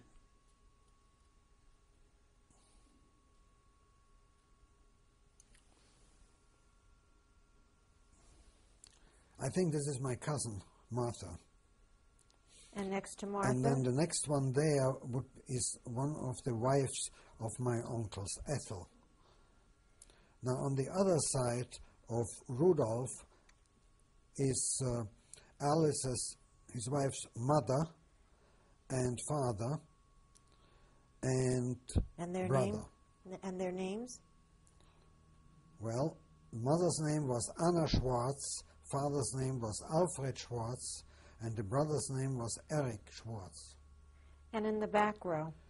Now, in the back row, from the left, my uncle Fritz, and the next one, my uncle Simon, and the rest of them, I don't have the names. These were the relatives of Alice, my uncle's wife. Uh, wife. Thank you. That's about all. And Dr. Glaser, can you tell me about this picture? Yeah, uh, by the way, the last picture was taken in Czechoslovakia. I don't know which uh, town. Uh, he did practice in Brno afterwards as a gynecologist. This is a picture of our youth group in Innsbruck at uh, probably at one of the apartments uh, where we held our meetings. We didn't have a special place for a long time. I think in the background you see the picture of Herzl uh, on the wall. Now, if I start from the left side, When was it taken? This must have been taken between 1931 and 32 in Innsbruck. And if you start uh, on the left side, the so, sort of heavy-set fellow is Willy Gratz. I don't know what happened to him. The next one is Heini Kurzmann, who became leader or co-leader of the group after I left for Vienna in 1933 and whom we visited this year in, in uh, Tivon, where he lives uh, now. The next one is Viktor Schwarz, the brother of uh, Erika Schwarz, who is in the picture. Victor lived until this year in Manchester, England, a professor at the university, and died this year. Uh, the next one is Schmetterner, who is a senior in that group, probably a friend of the people uh, whose apartment we used. And I think he ended up in England too. The next one is Walter Berger, who also became co leader after I uh, left, the son of uh, uh, Richard Berger. His father was killed in the Kristallnacht and commemorated now. The next one in the back then is myself, sort of leaning over, looking stupid. And the next one is, uh, I don't, uh, oh yeah, Hans Pasch. Pasch, there were two families, Pasch. Uh, they were not really much members of it, but this little boy, Hans Pasch, uh, was a member. The next one then on the right side is Abi or Adolf. He didn't like the name Adolf, of course. Abi Bauer, B-A-U-E-R, of the family Bauer and Schwarz from the uh, from the uh, department store in Innsbruck. He became a full-time uh, life member in the Israeli, first in the Haganah, then in the Israeli army, then became guide uh, guide for tourists. And he's now retired, but I think occasionally he still takes people along. He must be uh, about two, three years younger than I. When I was there, when we were there at one time, he spent an entire day taking us through the West Bank and all the other places. He is really knowledgeable. Uh, now, uh, starting at the second row, there is somebody hidden behind whom I can't tell. The next one is Gerda Bauer, uh, and she is living in Bethesda. We see her frequently. The next one is Erika Shomroni, previous Schwartz, who lives near Netanya in Israel with her husband. The next one is Karl Weiss, who uh, lived in Haifa and uh, he's, he's deceased, one of our members. Uh, the next one is um, Ignaz Kurzmann, the uh, brother of Heini Kurzmann, also living in Israel. And the next one is uh, on the right side is Felix Felix Adler. Felix Adler is the son of one of the four men that were killed in the Kristallnacht, and he is living in England, and he was now at the commemoration in Innsbruck um, with his uh, uh, with his wife. Then we go to the front row and we see Fritz Berger, the one standing with the arm in the at, at an angle. In he is a businessman, or he might be retired in uh, England. Next one is Tommy Bauer, who died in, I believe, in New York. Uh, the next one is uh,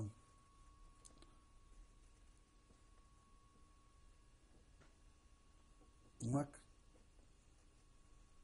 Magda Eva Bauer. Eva Bauer, who I believe lives in Toronto now. We haven't had any contact. Uh, the one uh, further to the right is uh, Annie Haber, who lives in Israel. And then way in the front is uh, uh, Kurt Gerber, whose father was a physician in Innsbruck. Then my little brother, who sits right in front of the star there. Next to him, Scheuer, uh, forgot his first name. Um, Scheuer was his family name, and Magda Glaser, Magda Graz, the sister of the Willy Graz that we first mentioned. I think that's all. Thank you. And this picture, Doctor? Uh, this in the middle is Ernst Glaser. The Czech name was Arnošt Glaser. He went through concentration camps, I think Auschwitz. He had some experiments made because he still showed me the scar on his thigh. I don't know the details. I don't even know whether he knew at that time. Uh, on his left is, of course, my wife Susie, and on his right is Eva, uh, who is now living in Rehovot. Uh, Ernst uh, died a natural death in Israel. He was a physician. I remember when we visited him one time, he was going on a motorcycle to make his house calls. Uh, later on, he had a car, and his wife uh, worked as a technician at the Weizmann Institute. And when was this picture taken?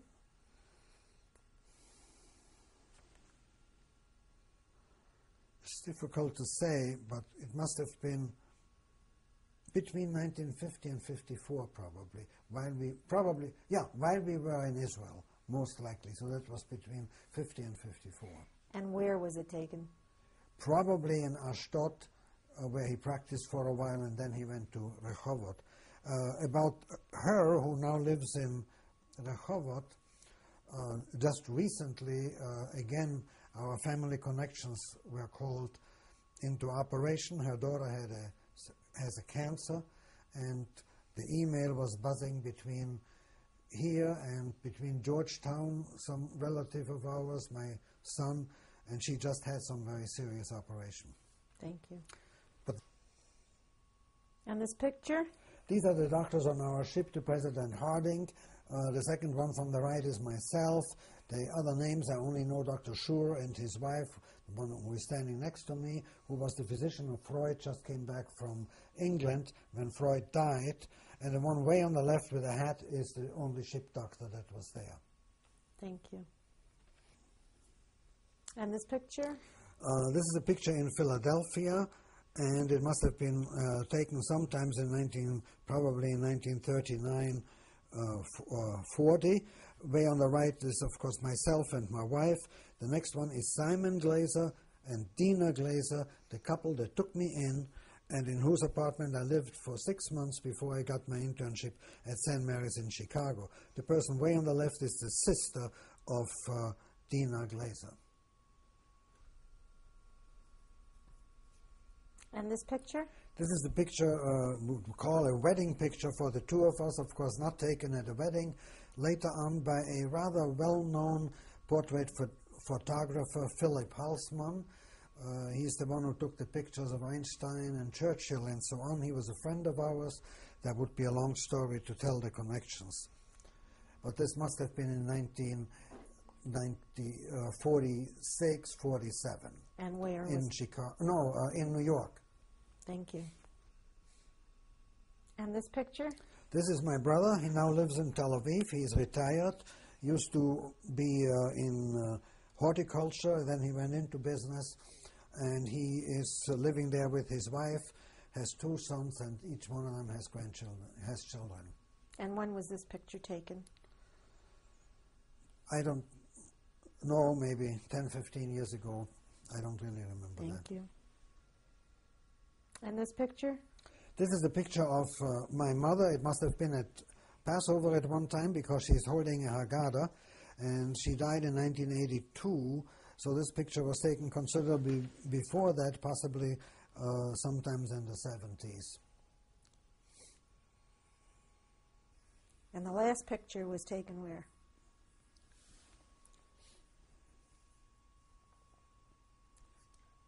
And Dr. Glaser, you, can you tell me about this picture? Yeah, the, the last picture, by the way, was taken probably sometime, someplace in the United States and probably in the 70s.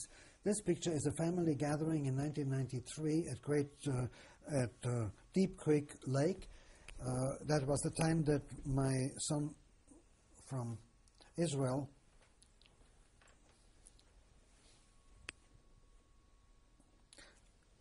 my son from Israel was here with the family on a sabbatical. Is it okay to talk? Uh, from sabbatical in St. Louis, and for once we were able to get the entire family together. The little boy there in the corner is one who didn't want to take a picture. That's the youngest one of Benjamin, Yaniv. Then comes uh, In the back row. in the back row on the left side uh, Susie's sister-in-law and brother, names? and then Their names? Oh, uh, John Stewart and Nancy Stewart. Uh, originally, his name was Stein. When he went into the American Army, he changed his name from Hans Stein to John Stewart. Next one is Ellie, Ricky's son. The next one is uh, Rachel, Ricky's wife. Then comes Ricky. Then comes myself. Then comes Susie.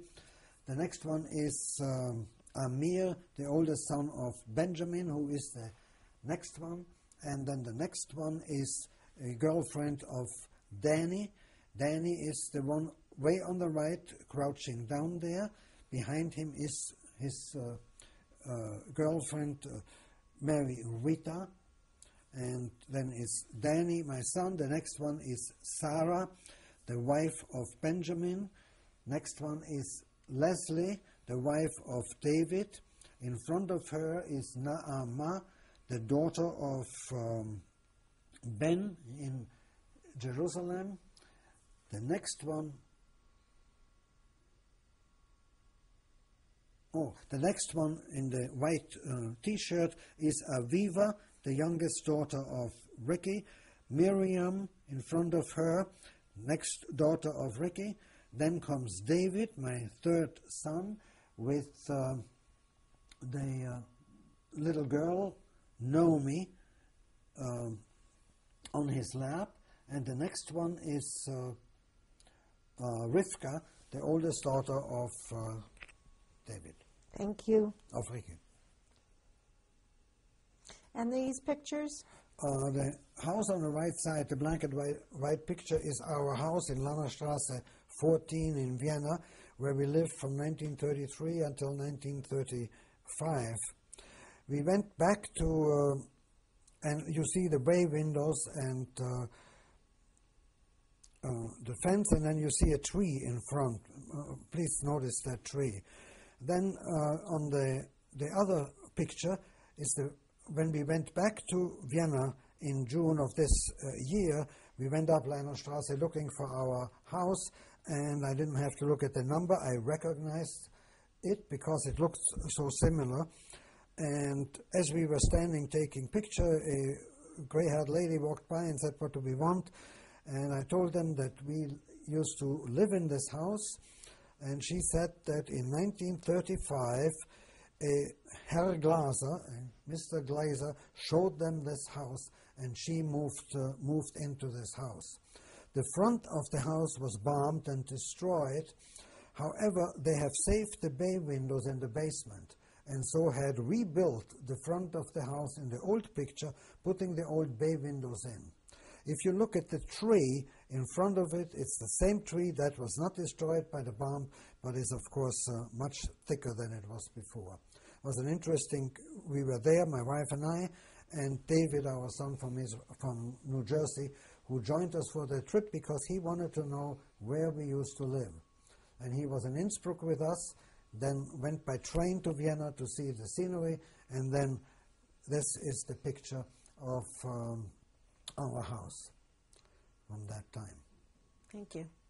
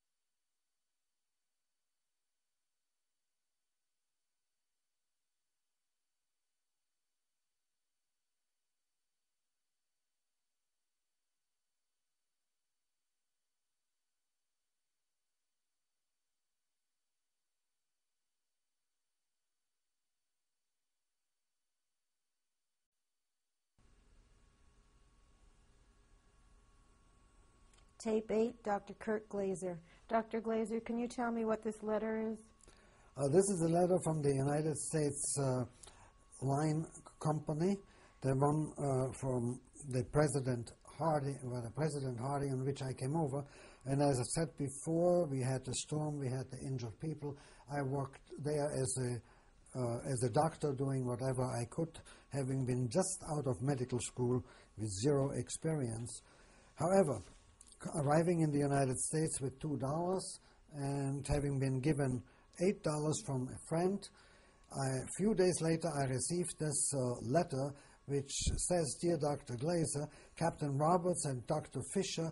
And Mr. Locke, the purser of the President Harding, have officially reported to us the efficient and effective services which you rendered to passengers and members of the crew the, on the President Harding in the accident which befell the steamer October 17th and the splendid assistance which you gave Dr. Pfister. We wish you to know that we are grateful to you for all you did in this connection and in appreciation of this, Mr. Franklin, president of the company, has authorized me to refund you the amount which you have paid us for your passage in the President Harding. Your check in the amount of $109 will be forwarded to you within the next few days, and will you please accept it with our thanks? This was the first money I earned in the United States. Thank you. And this document? Uh, as told in the story, um, I was constantly uh, re- reviewed and monitored in Switzerland and threatened with uh, deportation. And here, this document indicates that as a student, uh, my sojourn in Switzerland was um, extended to September the 30th, 1939. Um, I left then August 31st to France once I had my American visa after 19 months of delay before I got it. And the next document? The next one here is the slip that I got from the camp in France. It's called Camp de Concentration. Uh, however, one should not call it a concentration camp. It was a detention camp. They treated us well, they fed us appropriately, and it only indicates that I was there from September 21st, 39 to my release, and I can't quite read uh, a few uh, few weeks later, October, beginning of October. That is when the notification came that my boat is leaving from the harbor, which I could never reach. Thank you. And this document? Uh, this document is from the German consulate. I don't know where it was. I think in, in yeah in Geneva, and uh, it writes me that if I don't respond to their already repeated uh, requests to uh, report to the consulate and uh, clarify my status and military service, I will forego all protection from the German uh, consulate and the German country. This was in 1940, and of course, I did not even answer uh, the, this response. After all, Austria had taken over, I was a refugee, and I was in Switzerland. Thank you. And this document? Uh, this is a postcard which my father sent to my mother, actually addressed to me, Kurti, um, on my first birthday, so that must have been 1906, uh, uh, February of 1916, from Semipalatinsk. That's a town, uh, one of the many towns that the prisoners of war were being uh, housed and shifted and, and so. Uh, dear Kurti, at the occasion of your first birthday, I sent you from Siberia thousand kisses, which your mother will give you in installments. I will bring you in memory of your first birthday a nice engraved ring. You see the ring on the right side uh, there. They were doing to, they were able to make some things there and sell them and maintain themselves. Thousand kiss, kisses to you and your dearly dear mama uh, from your papa. Semipalatinsk, January the 10th, 1916. Uh, on the other side is a stamp of the censor, and uh, the date on the left side indicates that it arrived on March the 13th, 1916. And when did you translate this, this card? In the course of the years, I went through some of our letters and papers and started to translate. I couldn't tell you when that was. There are many other letters that I translate, like the first letter that I wrote to my mother when I arrived in the United States. Uh, that was in in um, in 39.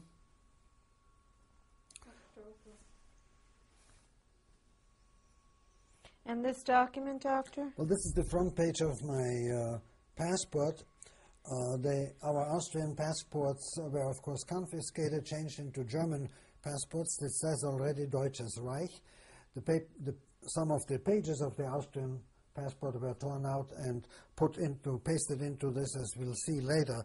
You see on top the J indicating that I'm Jewish, and they added all Jews, all male Jews had the name Israel added, and all female uh, Jewesses the name Sarah. This is the front picture. And the document next to it? Next to it is the visa to Shanghai. As I indicated, I got a visa to Shanghai on the basis of this. I got a ticket to Shanghai on the basis of the ticket. I got a temporary visa uh, to transit visa Switzerland, France, and uh, England. And this is the way I got legitimately into Switzerland, but of course illegitimately after eight days uh, when I stayed. And uh, fortunately, I was able to give the ticket back to the lady who paid dear money for it. And I don't know whether she got the money back or not, but anyhow, this is the Shanghai visa. Thank you.